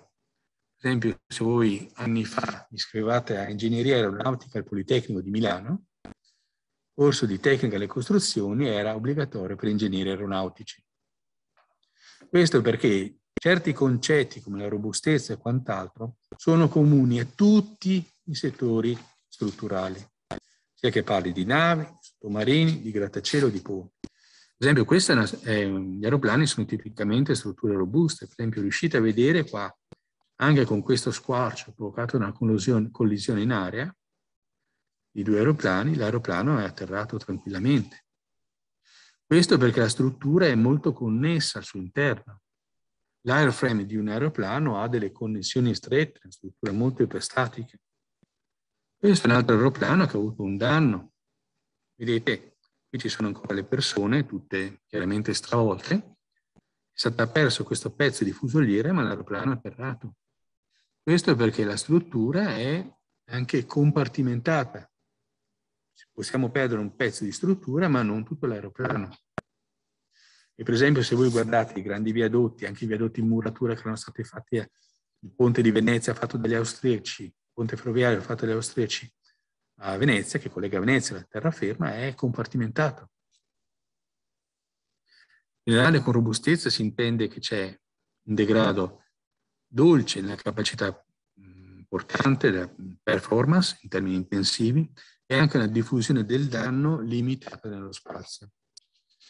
E per esempio, in termini di intensità, vedete, eh, se qui pensate alla capacità portante anche di un pilastro cerchiato, di un pilastro rettangolare in cemento armato, e qui pensate a un qualche danno, per esempio un camion che in retromassa vi taglia il cassone un braccio della staffa, un braccio della eh, una sezione a spirale ed in generale gli assi cerchiati condizioni nominali hanno una eh, configurazione estremamente importante perché confinano in maniera ideale il calcestruzzo, aumentando le resistenze.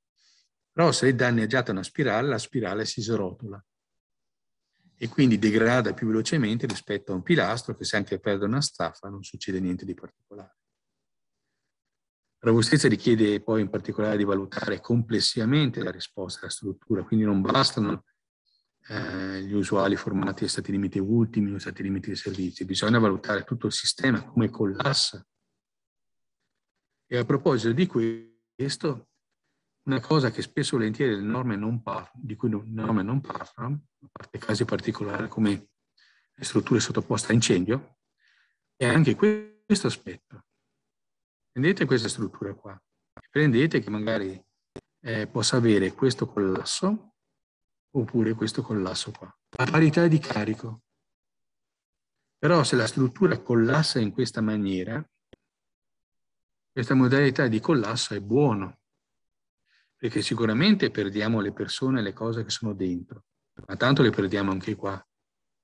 Però questo modo di collassare non coinvolge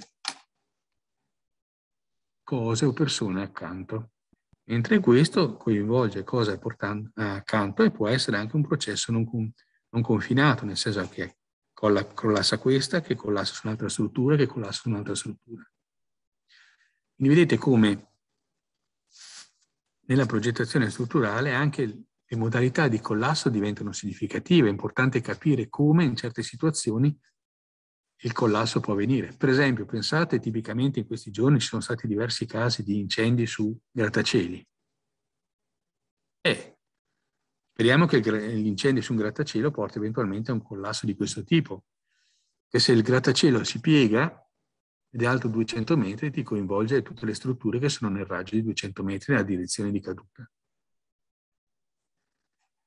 Il concetto di come una struttura muore in maniera benigna, senza coinvolgere ehm, altre cose o altre parti dell'intorno, è essenziale ed è, ad esempio, il concetto che gli ingegneri meccanici e aeronautici hanno di eh, collasso fail safe, oppure eh, damage tolerance, oppure gli informatici morte graziosa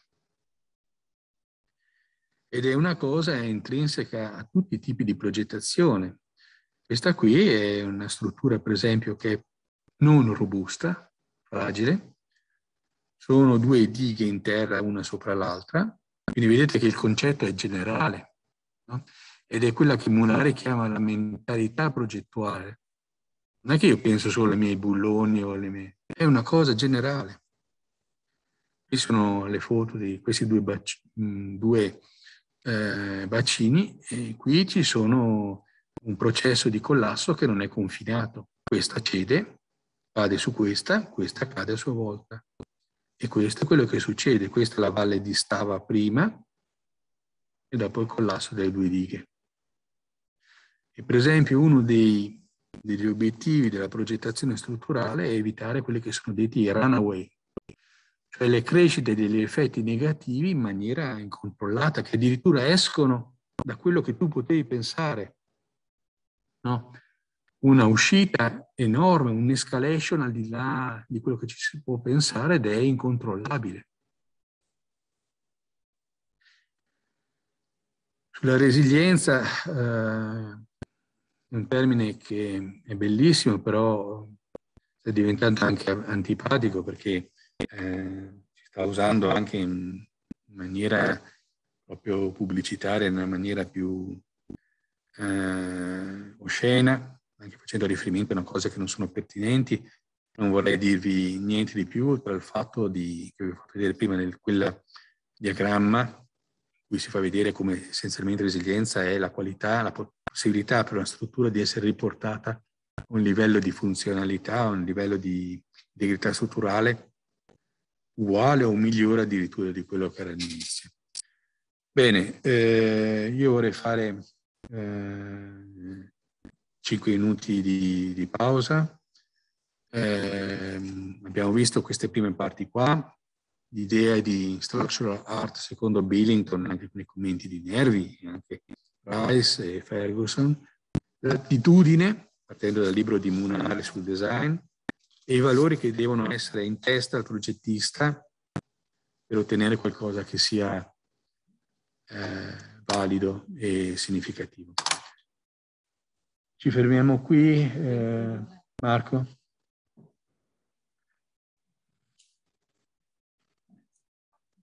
Questa seconda parte eh, di eh, lezione eh, ha un titolo un po', se volete, provocatorio.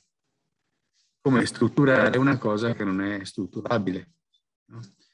In effetti, per esempio, se io ritorno indietro quando ho cominciato la mia carriera ed ero appassionato di aspetti matematici e eh, sviluppavo la mia, la mia tesi dottorato sull'entropia di Kolmogorov, che adesso non mi ricordo neanche cosa sia che cosa serva, però mi ricordo che c'era il concetto di problema eh, ben posto secondo Adam Hard, che prevede che qualsiasi problema viene definito in questa maniera qui, ammette una soluzione, quindi esiste la soluzione, la soluzione è unica, la soluzione dipende con continuità dai dati, le proprietà di stabilità strutturale del problema in termini analitici. Ecco, come vedete, questa è una definizione precisissima, no? eh, astrale se volete. E vi dico subito che ehm, questa definizione qui può andare bene in un certo senso per un problema cosiddetto di meccanica strutturale, che permette, che ha un inquadramento che può essere hard, ovvero in cui le strutture presentano uno schema globale, caratteristiche locali univocamente definite, in termini geometrici, caratteristiche meccaniche dei materiali sono assegnate, condizioni di contorno anche, e così via. Eh, tutte queste ipotesi qui alla base rendono il problema inquadrabile in maniera formale? E quindi si avvicinano a essere quello che ehm, viene detto un problema ben posto secondo Adamar. Il problema di ingegneria strutturale invece no. Sono formulabili solo in termini soft, quindi gli schemi globali sono da individuare in termini di caratteristiche geometriche, meccanismi resistenti, materiali reali hanno dei comportamenti difficili, le condizioni del contorno sono da interpretare, bisogna quindi decidere che vincoli ci sono e quant'altro. Eh, ci sono aspetti come per esempio il fatto che la soluzione non è unica sicuramente in generale, ma può anche non esistere. E poi ci sono degli aspetti che mh, mm, sono difficilmente formulabili, per esempio pensate alla, anche all'aspetto estetico. Quindi l'ingegneria strutturale si trova eh, problema di ingegneria strutturale, quindi un problema di progettazione non ben posto secondo Adamard. E già questo eh, vi fa uscire da tutti gli schemi che sono eh, pensabili per, eh, per, inquadrare in maniera completa, formale, un problema di progettazione strutturale. Quindi anche quello che si farà nell'ottimizzazione eh, eh, più precisa e puntuale è una visione distante da quella che è la realtà, è solo una parte della visione, è quella banana in mezzo alle onde. La visione, diciamo, un'impostazione elementare del problema di progettazione può essere fatta con riferimento all'attività di problem solving, in cui si sviluppa la soluzione con un processo top-down. Esiste quindi una persona che dà le direttive su cui si risolve il problema, volete in un, un approccio che può essere deduttivo, se volete qua come se ci fosse, non voglio dire Dio che pensa alla soluzione, ma qualcosa del genere. L'altra possibilità invece è quella, se volete, artigianale, in cui eh, si assemblano degli aspetti, delle parti del problema per arrivare alla soluzione. Quindi se volete questa è una versione proletaria, possiamo dire. La realtà è chiaramente mista. Si parte con delle idee che si sviluppano verso il basso e allo stesso tempo si prendono dei pezzi di soluzione già esistenti. Per esempio, se io ho l'idea di progettare un ponte, ho l'idea del ponte, lo schema complessivo ad arco, strallato, quello che volete, però prendo certi pezzi che possono essere anche i device, i dispositivi per il controllo delle, delle vibrazioni, per lo smorzamento, la dissipazione dell'energia cinetica, eh, sono prodotti industriali standardizzati, quindi assemblo questi. Eh, un modo eh, per rappresentare in forma ideale sempre la progettazione, più specifica della progettazione, la progettazione strutturale, quella che si trova sempre nel libro di Munari, in cui vedete eh, il percorso di progettazione eh, passa attraverso questi passi qui. Il problema, la sua definizione, componenti, quindi qui c'è una parte di comprensione del problema, di scomposizione, una parte di base dati, di raccolta, quello che può essere in termini anche più nobili interpretato come cultura, la base del progetto. C'è l'atto creativo, l'atto decisionale. Si ritorna subito ad aspetti però più materiali come le cose concrete, la sperimentazione attraverso anche modelli, la verifica.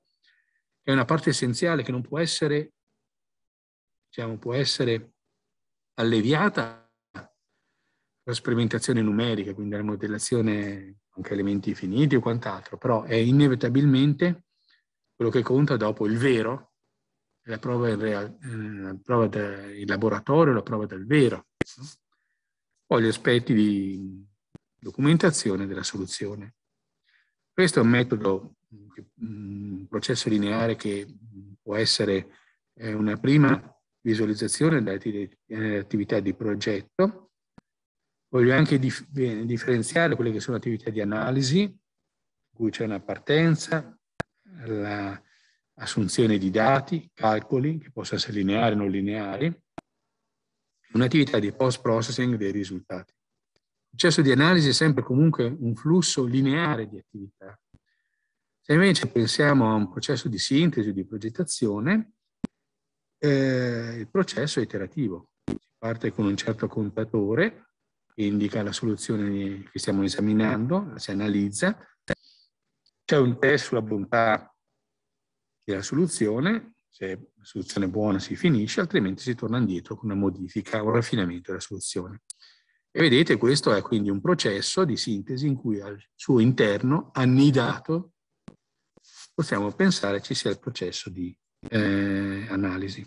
Questo modo di operare, secondo me, è una parte molto schematica, dopo dovremo emendare, però anche fornisce un punto di partenza e anche un modo di procedere, diciamo, nei casi alimentari che può andare bene. Per esempio, su questo ponte qui, lo stesso ciclo iterativo può essere pensato in questa maniera. Questa è la struttura, una sua certa configurazione, l'ambiente atmosferico, col vento, la temperatura, la parte relativa al suolo, per esempio con le azioni sismica, si valutano certe prestazioni, un processo di analisi, si giudica e si decide se va bene o non va bene. Si può anche cambiare il problema strutturale, nel senso che per esempio se le prestazioni di questo ponte sotto passaggio tutto l'anno di treni non è verificato, si può dire ma il ponte sarà disponibile, si dice, magari solo 360 giorni su 365. Quindi per 5 giorni, a causa per esempio del vento forte, il ponte non è percorribile. Oppure in termini di carichi, possono passare due Eurostar in contemporanea, oppure ne può passare solo uno in contemporanea e così via. C'è una, quindi una negoziazione, una riformulazione del problema strutturale, in particolare per l'uso legato al traffico, e si può ricominciare il ciclo. È un processo quindi ciclico. E questa è un'altra rappresentazione, per esempio questa, se voi notate, una figura a cui sono affezionato perché rappresenta lo stato delle analisi numeriche, delle modellazioni numeriche di questo ponte il 6 giugno del 2005, in cui sono definiti tutti i passaggi con cui si arrivava a inquadrare il problema e qui in fondo a preparare il bando di gara per il general contractor che si voleva offrire a fare il ponte. Quindi vedete c'è indubbiamente nel processo di progettazione visto in maniera elementare tutta una serie di attività con un certo ordine, un certo flusso che va da qui, dal punto 1 al punto 7. E mh, dopo una distinzione anche che può essere messa in evidenza subito tra un metodo progettuale, metodo di progettazione prescrittivo o prestazionale. Il metodo prescrittivo, come vedremo meglio, come vedete meglio con il dottor eh, Petrini nel pomeriggio, si definiscono come sono fatti i costituenti, li si assembla e si pensa che in questa maniera qui si sia ottenuta una soluzione valida. Nel metodo prestazionale invece si definiscono le prestazioni e si cercano, si scelgono elementi costituenti. Come in questa slide qua, oppure in questa, eh, quello che mi interessa comunque mettere in evidenza è che la visione elementare della progettazione prevede comunque degli schemi a blocco, blocchi, dei flussi no? più o meno tormentati. Questo per esempio è uno schema a blocchi che rappresenta l'attività che si fa in caso di una situazione in cui ci sia a contrastare l'incendio non voglio entrare nelle varie caselle perché non mi interessa, che poi può essere anche strutturato in questa maniera. Quindi vedete, qui si parte da un, una serie di, di, passi che si fanno per ottenere, in questo caso qui, una progettazione strutturale antincendio. Ecco, non mi interessa, ripeto, entrare nella singola eh, casellina, però eh, quello che si vede è che è un processo comunque strutturato con un certo flusso dall'alto verso il basso, dal punto 1 al punto 7.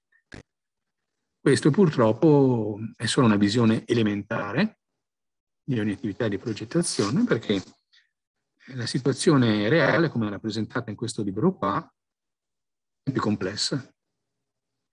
Si, Qui è la rappresentazione, come questi due autori qua, in particolare Schleich, che è stato uno degli strutturisti più importanti, quello che ha fatto per esempio lo stadio di Monaco, le Olimpiadi del 72, e che per Schleich il processo di progettazione non è così lineare, con un flusso così ben preciso, ma è più rappresentabile come un vortice in cui diverse istanze, diversi punti, diversi aspetti del progetto, l'uso, l'economia, eccetera, sono amalgamati e si spera di arrivare a un punto di convergenza.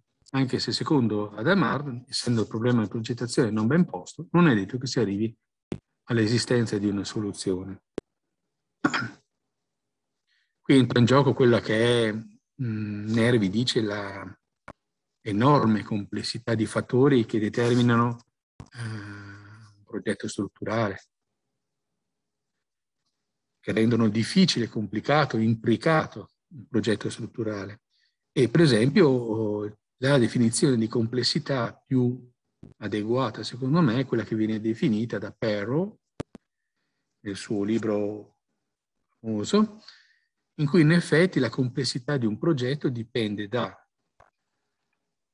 presenza di interazioni tra le varie parti, tra i vari aspetti del progetto che sono non lineari, se le interazioni sono lineari, il progetto è da questo punto di vista semplice, e poi se le varie parti del progetto sono tra di loro accoppiate strettamente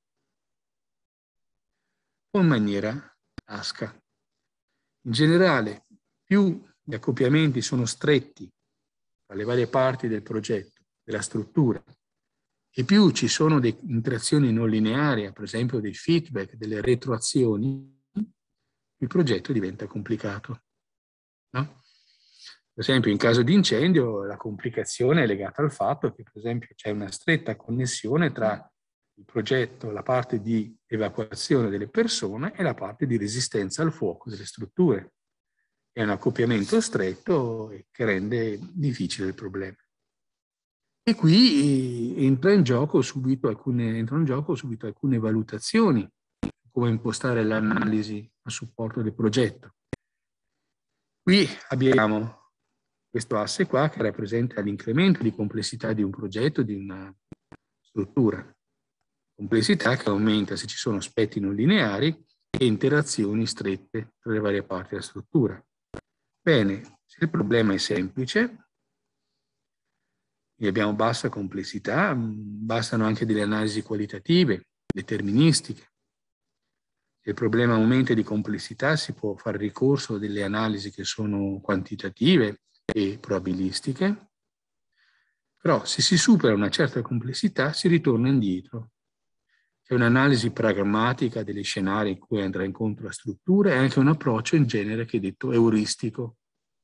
Euristico vuol dire che una persona di esperienza e di conoscenza trova la soluzione in, con un atto di forza. Chiaramente l'atto è arbitrario, però non deve essere fatto a capocchia perché sarà una struttura che nasce, una struttura che non vale niente.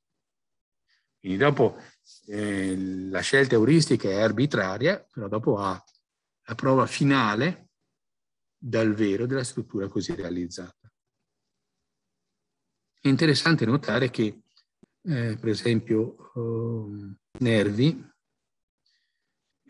osserva che eh, l'ideazione, diciamo la concezione strutturale, al punto di partenza e di individuazione dello schema strutturale, raramente è basato sull'intervento di calcoli matematici elevati calcoli matematici, calcoli molto complicati non servono nella fase di concezione della struttura.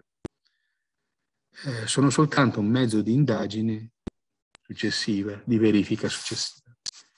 Questo è un aspetto significativo che si ricollega al fatto che la progettazione strutturale è eminentemente un atto, un evento artistico, un atto creativo. Una delle cose che eh, rende compresso il problema è l'incertezza e soprattutto l'incertezza riguarda quelle che sono le condizioni al contorno in cui si muove la struttura. Non tanto i materiali, non tanto quindi come il fatto del cosiddetto dominio strutturale, ma quelle che sono le condizioni al contorno eh, del problema. Questo è un aspetto che al giorno d'oggi è difficilmente messo in evidenza anche dai software e invece presentano la soluzione di un problema strutturale in maniera immediata. Per esempio, in termini eh, normative sugli aspetti di, sulle combinazioni di carico presentano pagine e pagine di combinazioni con tutti i coefficienti parziali eh, di sicurezza, ma fissano per esempio poca attenzione alle condizioni del contorno, che erano invece presenti a eh, questo testo che ha mezzo secolo di vita, che è fatto dal professor Calzona, che era ordinario di tecnica, no? e che eh, colleghi della mia età conoscono perché hanno avuto come professore e così via. In questo testo qua, per esempio, è rappresentato con estrema semplicità questo caso qui. Supponiamo che noi vogliamo progettare questo telaio qua, di cui abbiamo assunto lo schema in questa maniera qui col carico in testa. Che vincoli poniamo, che vincoli poniamo alla base? Prendiamo l'incastro. Beh, eh, magari i plinti sono cedevoli in termini di rotazione, quindi potrebbe essere un vincolo a cerniera. A quel punto là ci potrebbe dire, ma pensiamo di mettere un vincolo a carrella da una parte, quindi evitiamo di sviluppare l'azione iperstatica orizzontale. Eh, le considerazioni non possono essere fatte da un calcolatore, sono basate sulle euristiche, quindi sull'esperienza del progettista che dice guarda, sull'incastro ci posso credere e non credere. Quindi magari trovo eh, anche le sollecitazioni in momenti con queste due cerniere qua alla base. E vi faccio notare che questo è dirimente per quanto riguarda la posizione delle armature dei pilastri, perché qui le fibre tese sono da questa parte, lo stesso da questa parte, quindi le fibre tese, ovvero le barre di armatura, devono essere messe all'interno del telaio. Mentre con questo schema qui il momento qua è nullo, ma quello che cambia, per esempio, è l'intensità del momento in testa. La stessa cosa per il momento in mezzeria del traverso. Sempre in termini euristici, per esempio, il carrello può essere, questa situazione qui può essere eliminata, Perché in base all'esperienza è vero che io posso essere critico e non fiducioso del fatto di avere dei momenti all'estremità nei plinti alla base, ma pensare che uno dei plinti possa scorrere può essere ritenuto non verosimile. Quindi vedete il giudizio sulle eh, condizioni del contorno, per esempio, è un giudizio eh, ad alto livello che coinvolge l'esperienza, l'euristica del progettista. In particolare esiste eh, un bellissimo articolo che vi invito a cercare a leggere, che è il cosiddetto articolo di, col paradosso di Hambly, in cui viene detto che praticamente solo le strutture isostatiche possono essere calcolate in una certa maniera, con una certa validità. Mentre Hambly fa l'esempio proprio dell'esempio banale di uno sgabello con quattro gambe che già risulta, in base alla sua eh, sofisticata discussione, al di là delle capacità di previsione in termini di comportamento. Libro di, questo libro qua di Nervi presenta un esempio più complesso, che però riporta la stessa cosa. Voi sapete che eh, Nervi, prima della guerra, aveva realizzato diversi hangar simili, anzi uguali, Orbetello in, in altri posti, con questa struttura qui. Non erano stati fatti calcoli in quei tempi là perché non si aveva disponibilità di calcolatori e quant'altro, sono state fatte prove sperimentali su alcuni aspetti e eh, quello che viene osservato è questa cosa qui. Nervi aveva fatto, aveva realizzato su questo schema qui diversi di questi hangar in giro per l'Italia. E una delle osservazioni che aveva fatto è stata questa. Guarda, se io ti prendo un quarto dell'hangar, dello stesso hangar nominale, di quello che ho occupato a Orvieto, Torre del Lago, il primo orbetello, il secondo orbetello, se io provo, ehm, misuro le deformazioni al disarmo di queste quattro aviorimesse uguali, nominalmente uguali, trovo una variabilità di deformazione notevole. E questa variabilità di quattro strutture nominalmente identiche era legata alle condizioni del contorno. E in particolare anche i vincoli, ma anche e soprattutto magari altri aspetti, come per esempio le modalità di esecuzione, la variabilità nel materiale e quant'altro. E eh, questo porta anche effettivamente alla, eh, al fatto che strutture, per certe strutture, in particolare quelle iperstatiche, il regime statico vero è difficilmente conoscibile e prevedibile. Questa è la foto di, eh, del quadro che riassume eh, Morandi, che c'è fuori dal mio ufficio, accanto alla mia porta. E anche qui in piccolo viene eh, ripreso questo concetto. Al di fuori di poche elementari strutture isostatiche, tutto il resto essenzialmente è difficilmente prevedibile, difficilmente quadrabile. C'è quindi una difficoltà, una distonia discrepanza da quello che viene presentato numericamente nei codici di calcolo, anche con le migliori intenzioni, e quello che è la realtà. E volentieri la correlazione tra le due visioni è molto distante. Non voglio uh, a questo punto, eh, dopo questo aspetto qui relativo a quello che si potrebbe pensare di inquadrare uno schema però non è adatto completamente alla realtà, eh, mi sarebbe piaciuto, se avessi avuto più tempo, entrare e discutere quello che viene presentato in questo libro, che forse è uno dei più importanti eh, nella formazione, nell'educazione di un ingegnere. Però non, non ho tempo. E, mh, mm, però questo occhio della mente e quindi le considerazioni che fa uh, Ferguson relativamente alla professione dell'ingegnere, del progettista, può essere anche riassunto in termini più generali da questa frase di Bergson, che dice l'occhio vede solo ciò che la mente è preparata a comprendere. Quindi per esempio per questo motivo qua che io sono molto attento alla parte didattica, come si impara e come si insegna. Imparare a insegnare sono due facce dello stesso aspetto. Perché così noi siamo preparati a capire, a comprendere anche nella progettazione solo cose che abbiamo già nella nostra testa. No? E, e se non le vediamo, vi succede una cosa che è inaspettata e quindi dopo soltanto a posteriori impariamo. No? E rivela in tutta la sua crudezza, anche sua, nei suoi limiti, quello che è la cultura, la preparazione di eh, noi progettisti perché dobbiamo leggere questi libri e perché anche dobbiamo, è differente anche il modo con cui vediamo le cose e anche le spieghiamo, a seconda se le abbiamo esperite in prima persona oppure le sentiamo per eh, maniera eh, relata.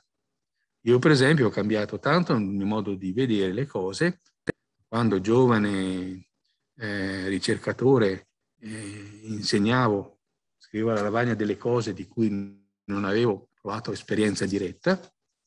Quando dopo le, quelle cose le ho fatte, le ho subite anche e le ho viste dal dentro, ho cambiato il mio modo di insegnare, perché certe cose che prima insegnavo, dopo mi rendevo conto che non, non erano più pertinenti, significative.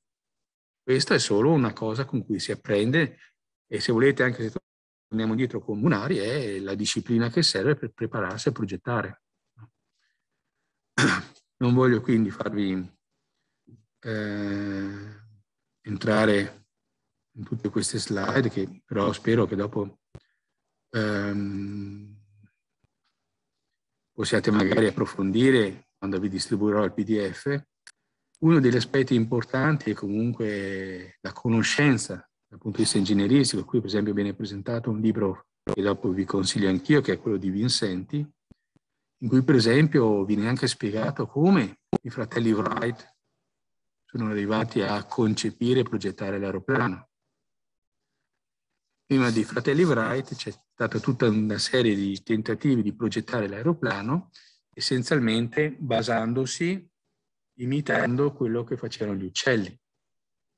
Quindi c'erano tutti schemi di velivoli in cui c'erano delle ali che sbattevano questo era un modo che non andava bene, non ha portato a frutti. E per esempio l'osservazione, gli esperimenti, le cose concrete di Wright, dei fratelli Wright su come far volare un oggetto sono il metodo ingegneristico.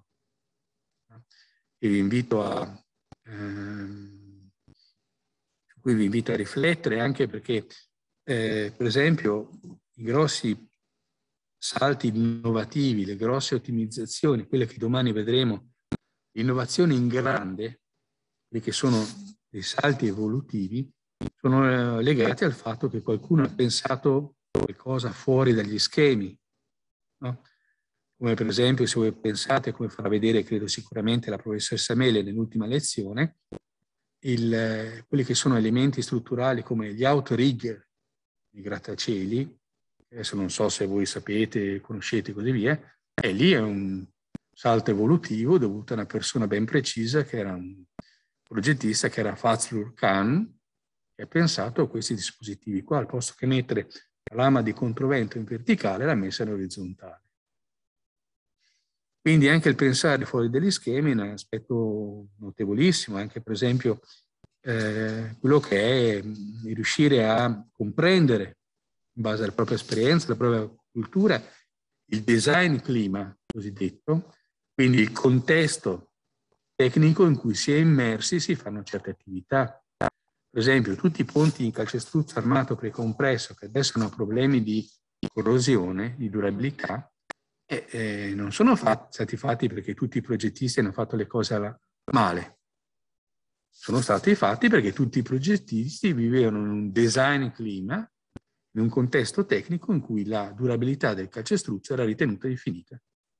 Quindi è un contesto, un modo di vedere tutta la comunità tecnica che mh, sicuramente aiuta i progettisti a indirizza i progettisti a fare le cose bene, ma allo stesso tempo vincola ed è quello che rende singolo progettista, come si dice, epistemologicamente cieco, cioè non vede cosa al di là di quello che il contesto gli insegna. Ci sono anche delle considerazioni, per esempio, alcune pagine notevoli su, sono, su come sono evoluti, sono, su come sono evolute le società di ingegneria, da queste modalità qui eh, tradizionali in cui però il progettista e i progettisti erano vicini, concretamente vicini all'oggetto che facevano ed erano consapevoli di tutta la cultura della società di ingegneria.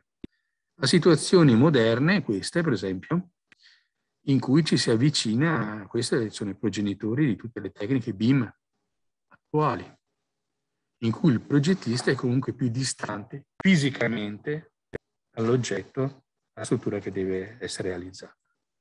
Sono anche considerazioni, parlando di conoscenza alla base del progetto, ci sono anche eh, diagrammi di questo tipo qui che devono essere considerati, in particolare per esempio le, eh, le conoscenze cosiddette tacite, implicite.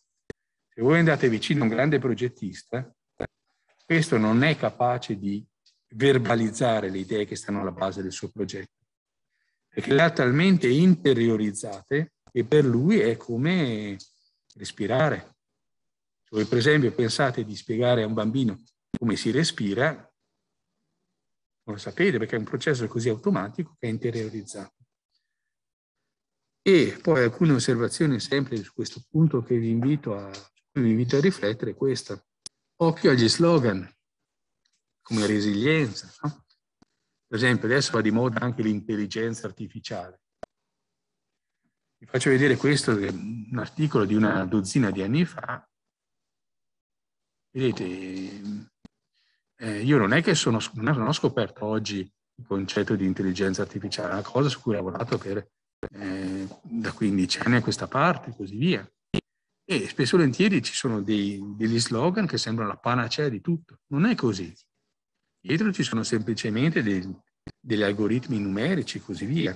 E eh, anche qui gli aspetti sistemici, esempio, qual è il riverbero dello stato di degrado di una singola parte strutturale sul possibile funzionamento e cambiamento statico complessivo dell'opera? Cos'è, qual è l'influenza sul cambio di modalità del collasso? Per esempio, un, un collasso d'utile per rottura flessionale o per taglio, quindi fragile. Qual è lo scenario che ci potrà essere in futuro? Il principio di precauzione, la robustezza strutturale, per esempio, come fa un algoritmo numerico, anche un metodo di ottimizzazione, a capire che la robustezza strutturale si migliora se tu ti rendi più per statica la struttura in questa parte, oppure la segmenti in quest'altra parte? Questi sono aspetti di logica superiore che solo il progettista con la sua cultura può fare. E in questo senso qua anche l'educazione, quello che si insegna, come si insegna oppure come si impara è essenziale. Non sto a dirvi le mie idee sul, sul modo di insegnare, vorrei passare in questi ultimi quarto d'ora ad arrivare a quelli che sono, possiamo dire, dei, dei quadri, dei, eh, degli aspetti ripetitivi i pattern si dice, no? eh, con cui si sviluppa il progetto. Ma uno degli aspetti più importanti è la distinzione che noi dobbiamo fare tra progetti evolutivi e progetti innovativi. Questo è legato inevitabilmente a um, avere in testa come si è evoluta la disciplina della progettazione strutturale, sia civile oppure anche questa aeronautica. Ripeto, per me non c'è differenza tra progettare una struttura. Io quando ero dottorando, tra, tra le varie attività che ho fatto per vivere, facevo, progettavo motoscafi. Perché in quel momento lì, a Milano, vicino al lago di Como, c'era costruttore motoscafi che mi chiedeva sta cosa. Io per i soldi ho fatto anche questo, però all'inizio l'ho fatto in maniera inconsapevole, tanto per, per avere qualche soldo, no? Poi però dopo negli anni ho scoperto che come progettavo il motoscafo, dopo aver progettato eh, il, il, ponte o un'altra cosa, la meteorologia è quella che dice Munari, è una cosa comune. No? E per esempio la distinzione tra evolutivo e innovativo per me, io me la materializzo in questi termini qua. Quando ero un giovane dottorando mi davano da fare una trave in precompresso eh, lavoravo nello studio di progettazione il mio capo mi diceva guarda, guarda i buon tempi, vado a prendere di là in archivio la trave che abbiamo fatto di eh, 36, 36 metri, adesso ne abbiamo una da 42 da fare prefabbricata per la Pizzalotti o per quello che era il prefabbricatore di turno, vada in archivio, prenda quella trave, il disegno, eccetera, noi la facciamo più o meno un po' più lunga. No? Allora io andavo nell'archivio di allora, negli anni 90 l'archivio era il bagno e sopra la vasca da bagno c'era lo stenditoio in cui venivano stesi i fogli di lucido perché se, arrotolavi, se li arrotolavi dopo si infragilivano e si rompevano, invece se li stendevi in verticale, quello era l'archivio prendevo il foglio lucido del disegno della trave da 38 metri e più o meno la facevo un po' più grande, 42 metri, facevo le mie verifiche e quant'altro. Questo è un progetto evolutivo, una cosa che avevamo fatto più o meno, adesso la cambiamo un pochino. Quindi se volete nel processo di crescita delle nostre conoscenze, le mie crescite, io ho fatto la trave fino a 38 metri, la devo fare un po' più grande, 42 metri, più o meno tutte le conoscenze che avevo ce le avevo non tutte, perché magari a 42 metri arrivava una trave che aveva instabilità flessotorsionale, mentre a 38 non ce l'aveva. Quindi avevo quasi tutte le conoscenze nella mia testa. C'erano invece dei problemi che, e ci sono dei problemi invece che sono innovativi, cose che non abbiamo mai fatto prima.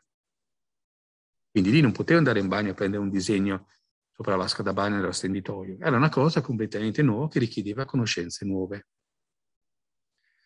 Se volete, questa distinzione è fatta proprio tra progetto evolutivo e innovativo, oppure progettazione e ottimizzazione in piccolo. Tu sei più o meno qua, per aumentare la performance della sua struttura, ottimizzi in piccolo. Progetto innovativo invece ti fa fare un salto evolutivo, crea una nuova specie di animale. Ottimizzazione in grande, in cui tu puoi aumentare tantissimo capacità. Qui torna però anche in mente quello che è il contesto, il condizionamento che noi abbiamo dal resto della comunità o dagli aspetti storici. Per esempio, questo qui è un caso notevole no, di aeroplano.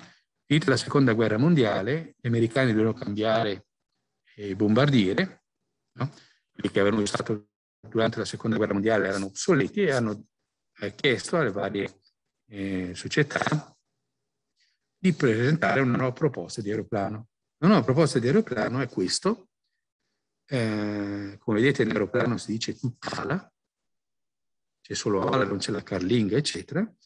E qui ci sono mh, la proposta del bombardiere, del nuovo bombardiere, fatto dal Northrop, l'YB-49, che vedete volava e quant'altro. I concetti innovativi e anche la cultura tecnica del progettista serve a riconoscere quello che è stato fatto, serve a sapere, io sono qui, vengo da questi concetti, vado da quest'altri concetti, altrimenti siete persi. Questo concetto tutt'ala era nuovo? No. Gli americani, quando avevano invaso la Germania, avevano trovato dei prototipi di aeroplano, come questi, fatti dai fratelli Horton che avevano pensato l'aeroplano tutt'ala in questa maniera. L'Horten HO229. Il fatto che l'aeroplano abbia solo un'ala non abbia la fusoliera è un vantaggio dal punto di vista aerodinamico. È un vantaggio eh, effettivo, un fatto. E per esempio era stato infatti eh, pensato già dai tedeschi durante la seconda guerra mondiale, dopo per fortuna non erano riusciti a sviluppare il concetto, però gli americani si erano portati dietro in America il prototipo no, per sviluppare la cosa. Quindi era assodato che l'YB-49 fatto dal Northrop, tutt'ala, sviluppando questo concetto qua, era superiore al bombardiere eh, tradizionale con la carlinga. Però, nonostante questo, il bombardiere, quello scelto dalla Air Force, era il bombardiere tradizionale con la carlinga. Perché questo? Perché il salto evolutivo faceva paura ai decisori, ai politici, no? perché il concetto era troppo avanzato, non era accettato. Quindi pensate, l'influenza culturale ha fatto scegliere una soluzione peggiore rispetto alla migliore. La vicenda però non finisce qui, perché se il concetto è migliore, alla fine vince. Questo è il bombardiere B2, sempre fatto dalla Northrop, e 40 anni dopo, 50 anni dopo, hai Puttala, no? vedete non c'è la carlinga, perché comunque è più efficiente. Quindi pensate a questa vicenda qua, che è tipica di come l'evoluzione avviene, l'ottimizzazione avviene nella realtà. E per esempio, sono aspetti che non sono formulabili in termini di equazioni. Come faccio a mettere dentro i vincoli che i decisori hanno nella testa e scegliere uno schema strutturale all'altro? E ci sono anche dei libri che parlano di altre cose, questo di Kuhn, però mette in evidenza questo aspetto qua, facendo riferimento a aspetti scientifici, teorie scientifiche. scientifiche. Guardate, i nuovi concetti si affermano solo perché gli oppositori, quelli che credono ai concetti precedenti, alla fine muoiono. Io eh, mi sono letto prima il libro in italiano, poi mi sono preso anche il libro in inglese, perché volevo capire bene il concetto di alla fine muoiono. Perché non ero eh, sicuro che la tradizione fosse stata una metafora, come dire adesso muoiono. In che senso muoiono? Il libro di Kuhn, il muoiono, è scritto in, in termini fisici, cioè muoiono fisicamente.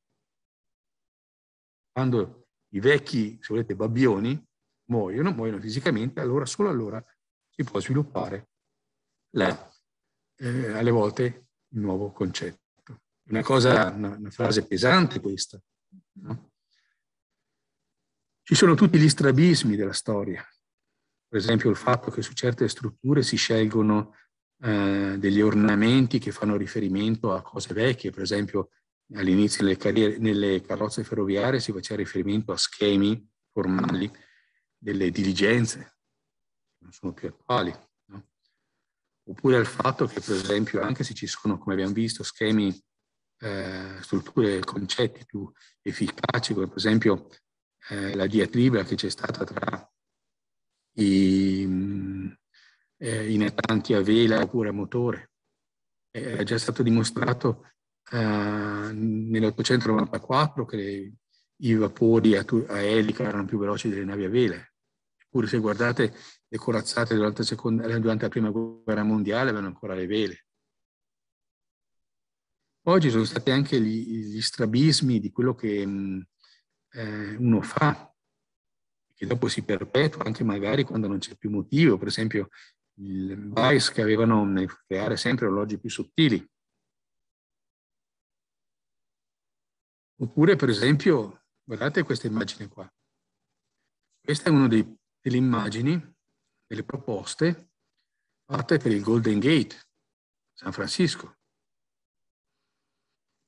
La proposta è stata fatta da uno che faceva, da un progettista che faceva ponti bascolanti, quindi ponti che si possono alzare con la zavorra dietro. Questo è il ponte basculante, questa è la zavorra, qui il ponte si alza e, e il progettista aveva il, lo strabismo in testa, vedeva ponti bascolanti dappertutto.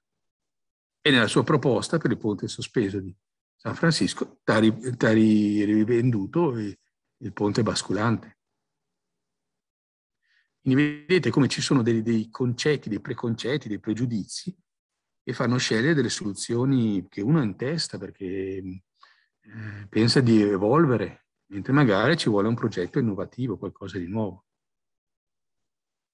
Ci sono poi aspetti relativi anche al, al fatto che quando ci sono delle indecisioni, delle incertezze sulla struttura da realizzare, uno crea una cosa che non è né, carne né pesce. Per esempio, questo è un veliero o un vapore? Tutti e due. C'è stata indecisione, incertezza, non c'era la chiarezza di spirito nel progettista su cosa fare. Questo va peggio sia del veliero che del vapore preso a sé stante. E, ehm, Per esempio Rice, quello che ha realizzato il Boburgo, soprattutto l'Opera House di Sydney, dice questa cosa che è significativa. Guardate, alle volte è meglio un neofita, o diciamo uno che non ha chiaramente, come le americane dicono, ha il fresh look, il problema che non ha eh, tutti i bias precedenti, di, delle storie, delle vicende precedenti che lo condizionano. Nel bene e nel male. Questa è una posizione forse un po' estrema, però va anche messa in evidenza. Limiti, i nostri concetti. Questo è anche un bellissimo libro che è molto discorsivo, che però, e delle volte anche i libri semplici, divulgativi, adesso hanno sempre una connotazione quasi negativa. E non è così. Perché uno che dice chiaramente le cose, ti spiega chiaramente le cose, è meglio di uno che invece fa scusate il termine, tanto casino e non, non si capisce. Non è che se uno dice delle cose che non si capiscono è meglio di uno che ti dice in maniera piana funziona così. No? I limiti sono ben noti, per esempio, se voi pensate a certi tipi di struttura, eh, ogni struttura un schema eh, di range di luce, per esempio, eh, ben chiaro se, range, eh, se la luce, lo span di una certa struttura è più piccolo di quello che è ottimale, non va bene, non può essere utilizzato, come anche se si esula, se si sceglie uno schema troppo, con una luce troppo grande, si esula dalla, dalla zona di eh, fattibilità della struttura. No? Quindi ci sono dei limiti inferiori e superiori, oltre la quale non si può andare. Questa struttura va bene, è ottimale in questo range di metri di span, se è troppo piccola, insomma, se è troppo grande, alla stessa maniera non funziona. Questi sono i limiti, diciamo, espliciti, ma ci sono anche dei limiti che sono legati proprio alla saturazione del concetto. Tu hai sotto una certa lunghezza, le cose non vanno bene, un range ottimale in cui hai una buona marginalità di incremento di eh, funzionalità di prestazione, oltre a un certo limite tu non puoi fare saturo le capacità della struttura. E non soltanto sono aspetti, diciamo, quantitativi, la luce del tuo ponte è sospeso. Fare un ponte sospeso di 100 metri non, non, ha senso, perché sono in questa zona qui, come fare un ponte sospeso di 20 km non ha senso, perché qui non ci arrivi. Non è soltanto una questione di numero, è una questione anche di concetto, di reiterare la soluzione. Per esempio, nelle barche a vela, le navi a vela, nei clipper, se a un certo punto si aggiungevano alberi quindi velatura, metri quadri di vela pensando che andassero più veloce. Questo era vero. Però quando si è raggiunto il limite di sette alberi uno dietro l'altro, ci si è resi conto che marginalmente non si guadagnava niente, anzi si perdeva. Questo è il limite di un concetto. Il concetto di albero più vela, di barca vela, nave a vela con più alberi, raggiunge il limite in questa maniera. Ci sono altri aspetti che sono quasi umoristici. E a furia di aggiungere ali su, su un biplano, un triplano, questo non si alza più, non vola più, ha raggiunto il limite. E nella storia ci sono anche errori proprio quasi di ibris, di orgoglio, di presunzione del progettista, per cui la struttura muore subito. Eh, negli anni nel 1600 tutti i galeoni erano sembravano tanto più belli e imponenti quanto più il castello eh, di poppa era alto. Solo che il castello di poppa diventa così alto dopo la, la nave perde stabilità e quindi collassa. Questa non è neanche uscita eh, dal, dal, bacino di carenaggio, si è rovesciata subito. Quindi vedete che a un certo punto si arriva alla saturazione di un concetto e dopo si può ottimizzare in grande se si inventa un altro concetto. E quello che dicevo prima di Fazlur Khan è per esempio raccontato in questo libro della figlia. Fazlur Khan è quello che ha fatto tutti i grattacieli più importanti di, eh, di Chicago in giro per, la, per, gli Stati Uniti, lavora alla Skidmore, Owings e Merrill. E per esempio qui potete vedere l'evoluzione dei grattacieli in alto. Fino a qua ci sono strutture intelaiate, poi qui c'è la lama di controvento. Poi guardate il passo successivo, La lama di contromento è messa in orizzontale dell'outrigger, che dicevo prima, e così via. Poi ci sono soluzioni ancora più, più grandi, triangolate, in cui ci sono dei salti, dei passaggi di ottimizzazione di forma, ottimizzazione topologica, vedremo domani, che vi farò vedere anche la professoressa Mele l'ultimo giorno. Questi sono aspetti, una parte anche quasi, volete, filosofici.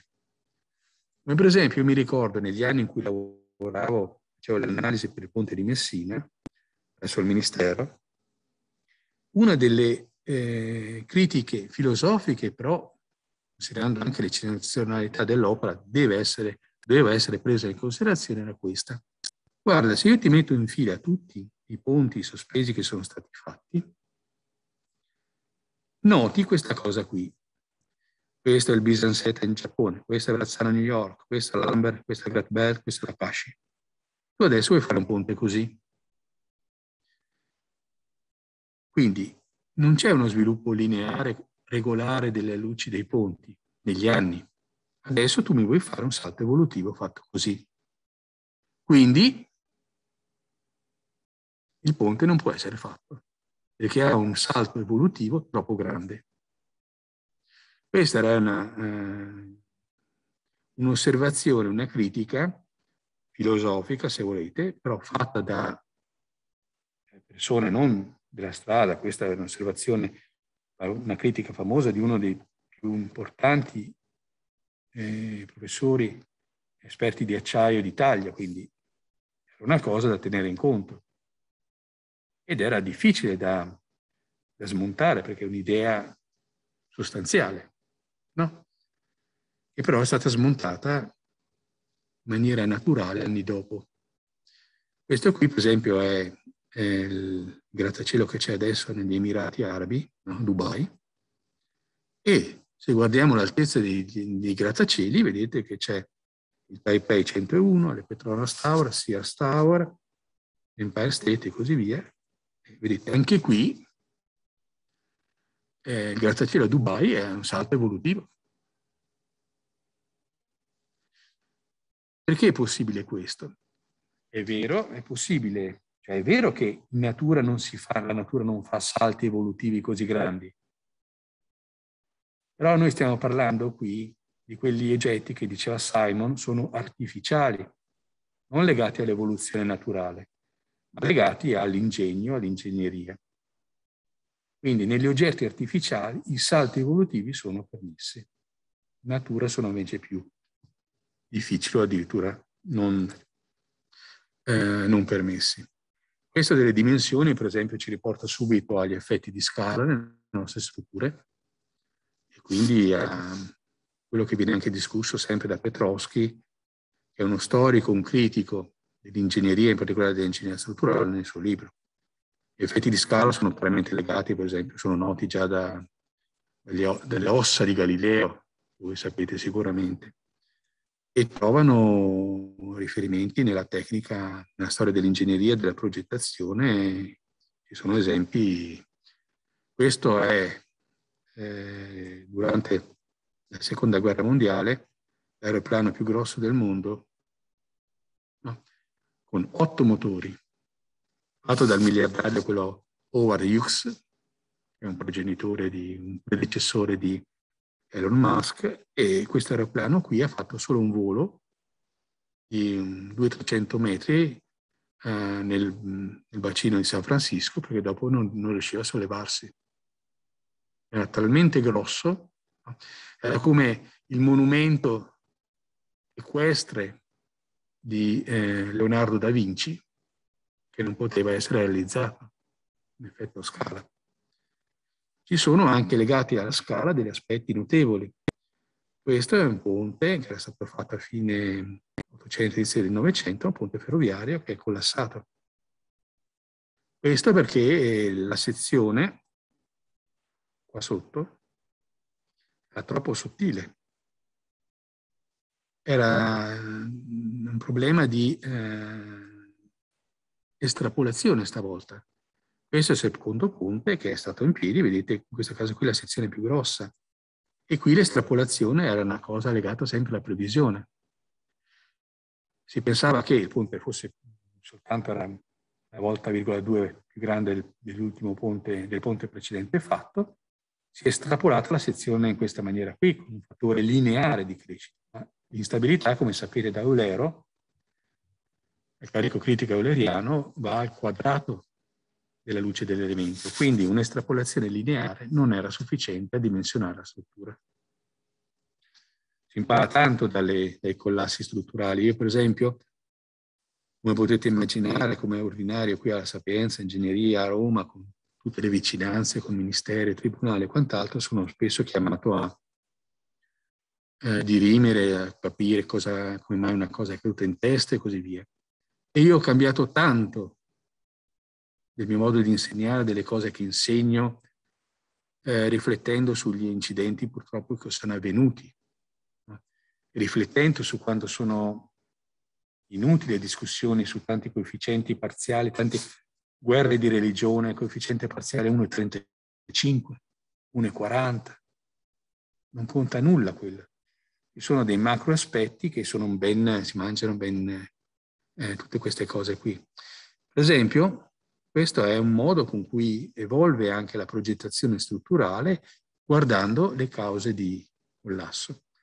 Qui abbiamo le percentuali di failure, qui abbiamo il tempo. Vedete all'inizio, anni fa, ci sono dei fenomeni come il B, che sono non noti, quindi se avviene il collasso è perché il fenomeno non era noto. Poi, nel crescere del, nel passare del tempo, questo fenomeno viene inquadrato a livello di ricerca, quindi si capisce come funziona a livello di ricerca. Potrebbe essere, se volete, anche il, collasso per uh, azione aerolastica del ponte Tacoma. Uno magari non sapeva che c'era, poi hanno cominciato a studiarla, poi col passare del tempo il fenomeno viene anche normato. Adesso abbiamo le CNR sul vento. Oppure in un certo momento, in un certo istante, ci sono dei fenomeni noti e normati, dei fenomeni noti a livello di ricerca e dei fenomeni non noti. Vedete come nel crescere del tempo la maggior parte dei failure è legata all'errore umano, no? al fattore umano. Ed è per quello che, per esempio, le norme tecniche, con tutta la loro stratificazione pesantissima, che, opprime gravemente il progettista, non sono poi l'arma giusta per eh, proteggersi dalle failure.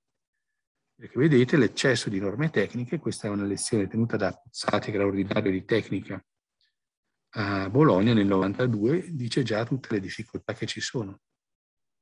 La stratificazione di norme, o come adesso si fa, tutte le linee guida sull'assessment dei ponti non servono. Sono stratificazioni, spesso volentieri, come diceva il professor Radogna, un altro ordinario di tecnica con cui ho lavorato quando sono venuto qua, diceva le norme sono fatte tendenzialmente da persone che non hanno mai progettato, che non sanno com'è la realtà. Quindi introducono strati di cose che non servono, anzi oscurano la visione chiara che dovrebbe avere il progettista. È interessante anche notare che eh, esiste un modello generale in cui si sviluppano le failure. Uno potrebbe dire, ma com'è questa storia? Sì, gran parte delle failure si sviluppano in questa maniera. Si può pensare che un progetto strutturale, una costruzione, sia come uno strato di firewall, in cui però il firewall non è perfetto, ci sono dei buchi, delle lacune, delle imperfezioni in questi strati di difesa. Bene, quando questi eh, buchi, queste lacune, in questi strati di difesa si allineano, avviene il collasso. Quella che era una minaccia produce il collasso vero e proprio. Se pensiamo, per esempio, questo modello detto uh, formaggio svizzero perché richiama chiaramente l'Emmental, se pensiamo a una struttura e per esempio pensiamo come si realizza una struttura, si nasce dal design clima che abbiamo già più, più volte visto, conceptual design, quindi ci può essere magari un buco nel conceptual design, ci possono essere dei buchi, delle imperfezioni nei disegni, nei calcoli nella scelta dei materiali, dei componenti, nella costruzione, anche nell'uso, eventi magari accidentali o eccezionali. Poi ci possono essere errori di, man- di manutenzione, come prima dicevo il device, l'appoggio che viene cambiato pensando di cambiarlo adeguatamente, invece viene effetto più piccolo, monitoraggio, eccetera. Quando tutte queste cose qui si allineano, si ha il collasso. Quello che era una minaccia si concretizza in un fatto negativo. Se per esempio siete esperti di structural file design, questa è la declinazione del modello di Reason con tutti i suoi buchi nelle varie fasi, in cui c'è fondamentalmente un'interazione tra il sistema strutturale con le sue proprietà e caratteristiche e le debolezze che si hanno allo stesso all'interno del eh, sistema. Ed è questa interazione che quella che se è stretta, come diceva Perro, porta alla complessità del progetto in caso di incendi. Qui ci sono tutti gli aspetti, mm, il uh, diagramma di flusso viene esplicitato così, adesso non, non sto a entrare perché è solo per farvi vedere come si può declinare questo modello qua. E voglio invece chiudere questo aspetto sull'FL osservando questo aspetto. Esiste una sicurezza formale, quella che per esempio negli eurocodici, nell'eurocodice 0 è declinata da questi indici di affidabilità, o in piccolino, come nelle migliori, eh, nei migliori contratti assicurativi, ci sono tutti i disclaimer, le eccezioni. Guarda che tutto quello che noi facciamo di eurocodice non prevede necessariamente, non dà un'indicazione effettiva di quello che è eh, la, la, la, la, sicurezza sostanziale della struttura, perché qui dentro tutti gli aspetti relativi all'errore umano, che abbiamo già visto prima, sono preponderanti al giorno d'oggi, non sono considerati. Questa è la sicurezza formale, la sicurezza sostanziale tiene conto di tutti questi errori qua. Ci sono quelli che non sono contemplati dagli eurocodici.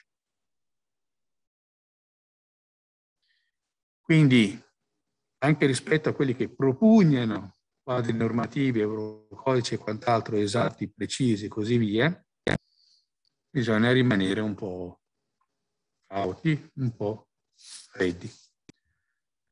Sugli errori, soprattutto il giudizio che permeano la nostra attività come progettisti, questo è un bel libro e questi sono gli errori di giudizio, almeno quelli più che mi hanno colpito di più leggendo questo libro qua, come elencati qua.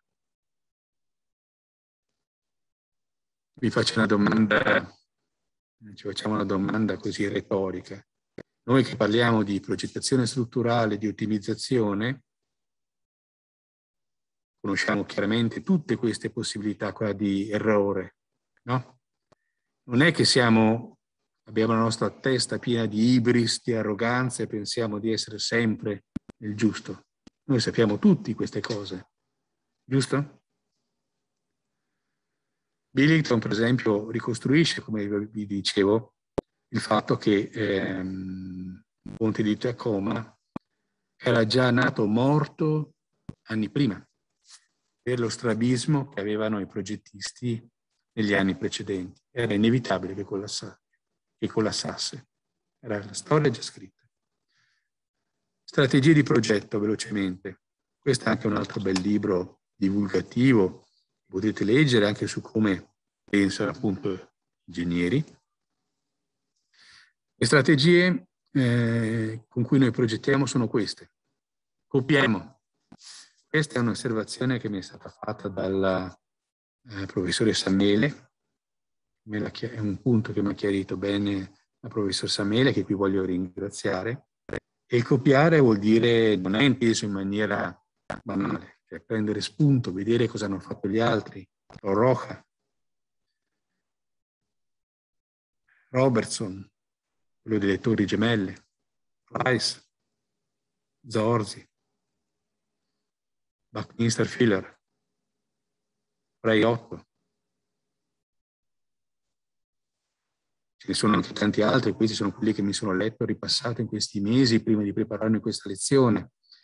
E per esempio Nervi riflette su questa cosa. Guardate, l'allievo, ponendolo di fronte a progetti altisonanti, senza che abbiano fatto tutta la giusta ginnastica preparatoria, senza che abbiano acquisito un minimo di cultura, si perde. Dare in mano un progetto enorme a uno studente è la cosa più insensata che si possa fare. Quindi dopo copiare, la seconda strategia è assemblare in serie o in parallelo. Meccanismi strutturali in serie o in parallelo. Per esempio questo è un meccanismo, questa copertura qua, in parallelo. Questo è un meccanismo in serie. Questo dà già il DNA alla struttura. Non potete fare niente ottimizzando la struttura se avete deciso che nasca in parallelo o in serie. Con tutte le considerazioni che ci possono essere, per esempio questa dà luogo all'ottimizzazione morfologica della struttura, copiare share type, live share type con eh, strutture controventate a croce. Questa può essere produrre un'ottimizzazione topologica. Queste connessioni qua, come vi farò vedere anche eh, venerdì la professoressa Mele, è ottimizzazione invece topologica. Non sappiamo perché, domani magari vi farò vedere alcuni aspetti. Quindi sono proprio situazioni che entrano nel DNA della struttura e non sono, una volta date, eh, è così, non c'è niente da fare. Accoppiare funzionalità differenti,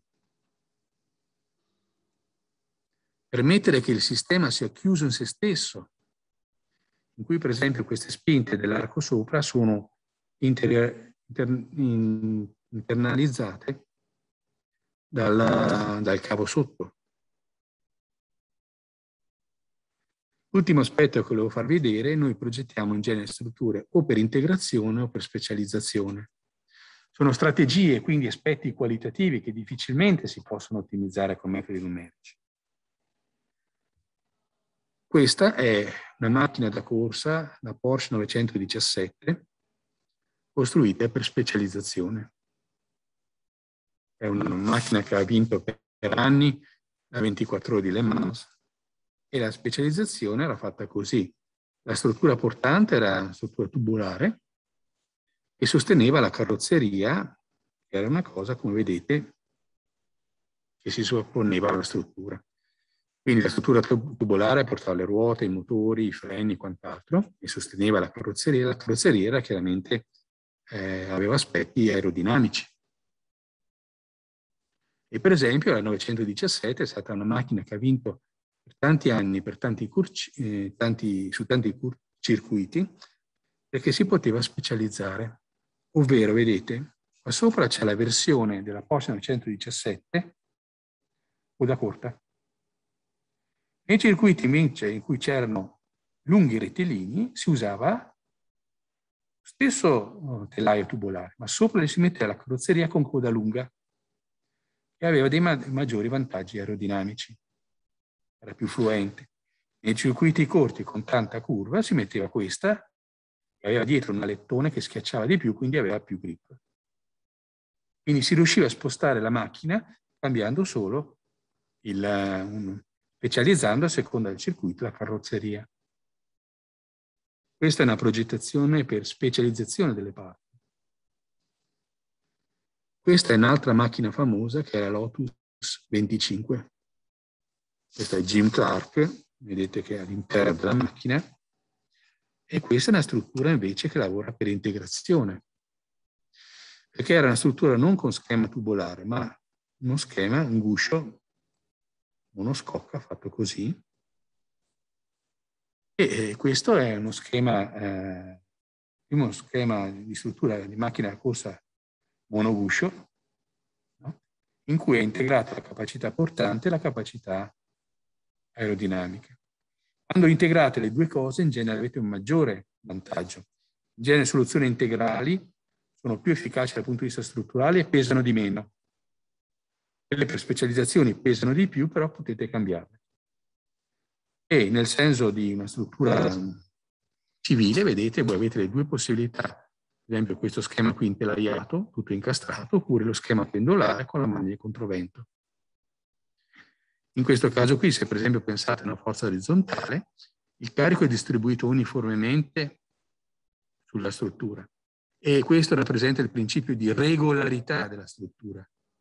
La struttura più regolare, e questa è regolare al massimo, meglio risponde ai carichi, pesa di meno. Questa pesa di più e per esempio concentra i carichi in questo punto qua, nelle fondazioni in questo punto, che è contrario al principio di regolarità. però permette altri aspetti, ad esempio una struttura più flessibile, se dovete ampliarla e aggiungere una navata è più facile. Oppure supponiamo che arrivi un sisma che vi danneggia la struttura e la struttura è tutta danneggiata e non è facile ripararla. Qui per esempio sarà danneggiata la maglia di controvento, tutto il resto sarà inclinato, di moto rigido, però se volete ripristinare la struttura la rimettete in bolla e cambiate il diagonale. Quindi anche qui dietro queste concezioni qua non c'è soltanto l'aspetto istantaneo della progettazione. Oggi è così. Si prevede quello che succederà in futuro. Dovrò ampliare il mio capannone? Ci sarà un sisma? Devo sostituire qualcosa? Bene, eh, con queste riflessioni qua, con 10 minuti di ritardo, un quarto d'ora di ritardo, ho chiuso la mia lezione in cui vi ricordo brevemente i concetti che abbiamo visto oggi. Tutto quello che secondo me, ma secondo anche gli autori che vi ho presentato, i libri che vi ho indicato, sottostà l'idea di progettazione strutturale quindi di ottimizzazione. In particolare quella che deve essere l'attitudine del progettista e i valori che lo devono guidare. Qui ci sono gli aspetti con, che arrivano, che sono alla base, che sono esplicitati della strutturazione di un problema che non è ben posto. Eh, che sono i pattern del design, i tipi di progetto evolutivo, innovativo, eccetera, quelli che sono eh, quello che abbiamo nella testa noi e quelli che hanno nella testa la comunità che ci sta intorno, i pregiudizi e anche le cose positive che ci sono, come si può imparare dalle, dai collassi. E infine le strategie che dobbiamo avere in testa e che possiamo utilizzare a seconda degli scopi per ottenere un progetto strutturale che sia eh, efficace. Eh, vi saluto con questo, vi ricordo soltanto che pomeriggio alle 15 c'è il dottor Petrini che ci parla eh, di aspetti eh, legati al performance based design, in particolare gli edifici sotto l'azione del vento, l'azione sismica. Vi ringrazio dell'attenzione. Grazie professore, buon pomeriggio. Grazie, buon pomeriggio. Va bene, alle 15, d'accordo?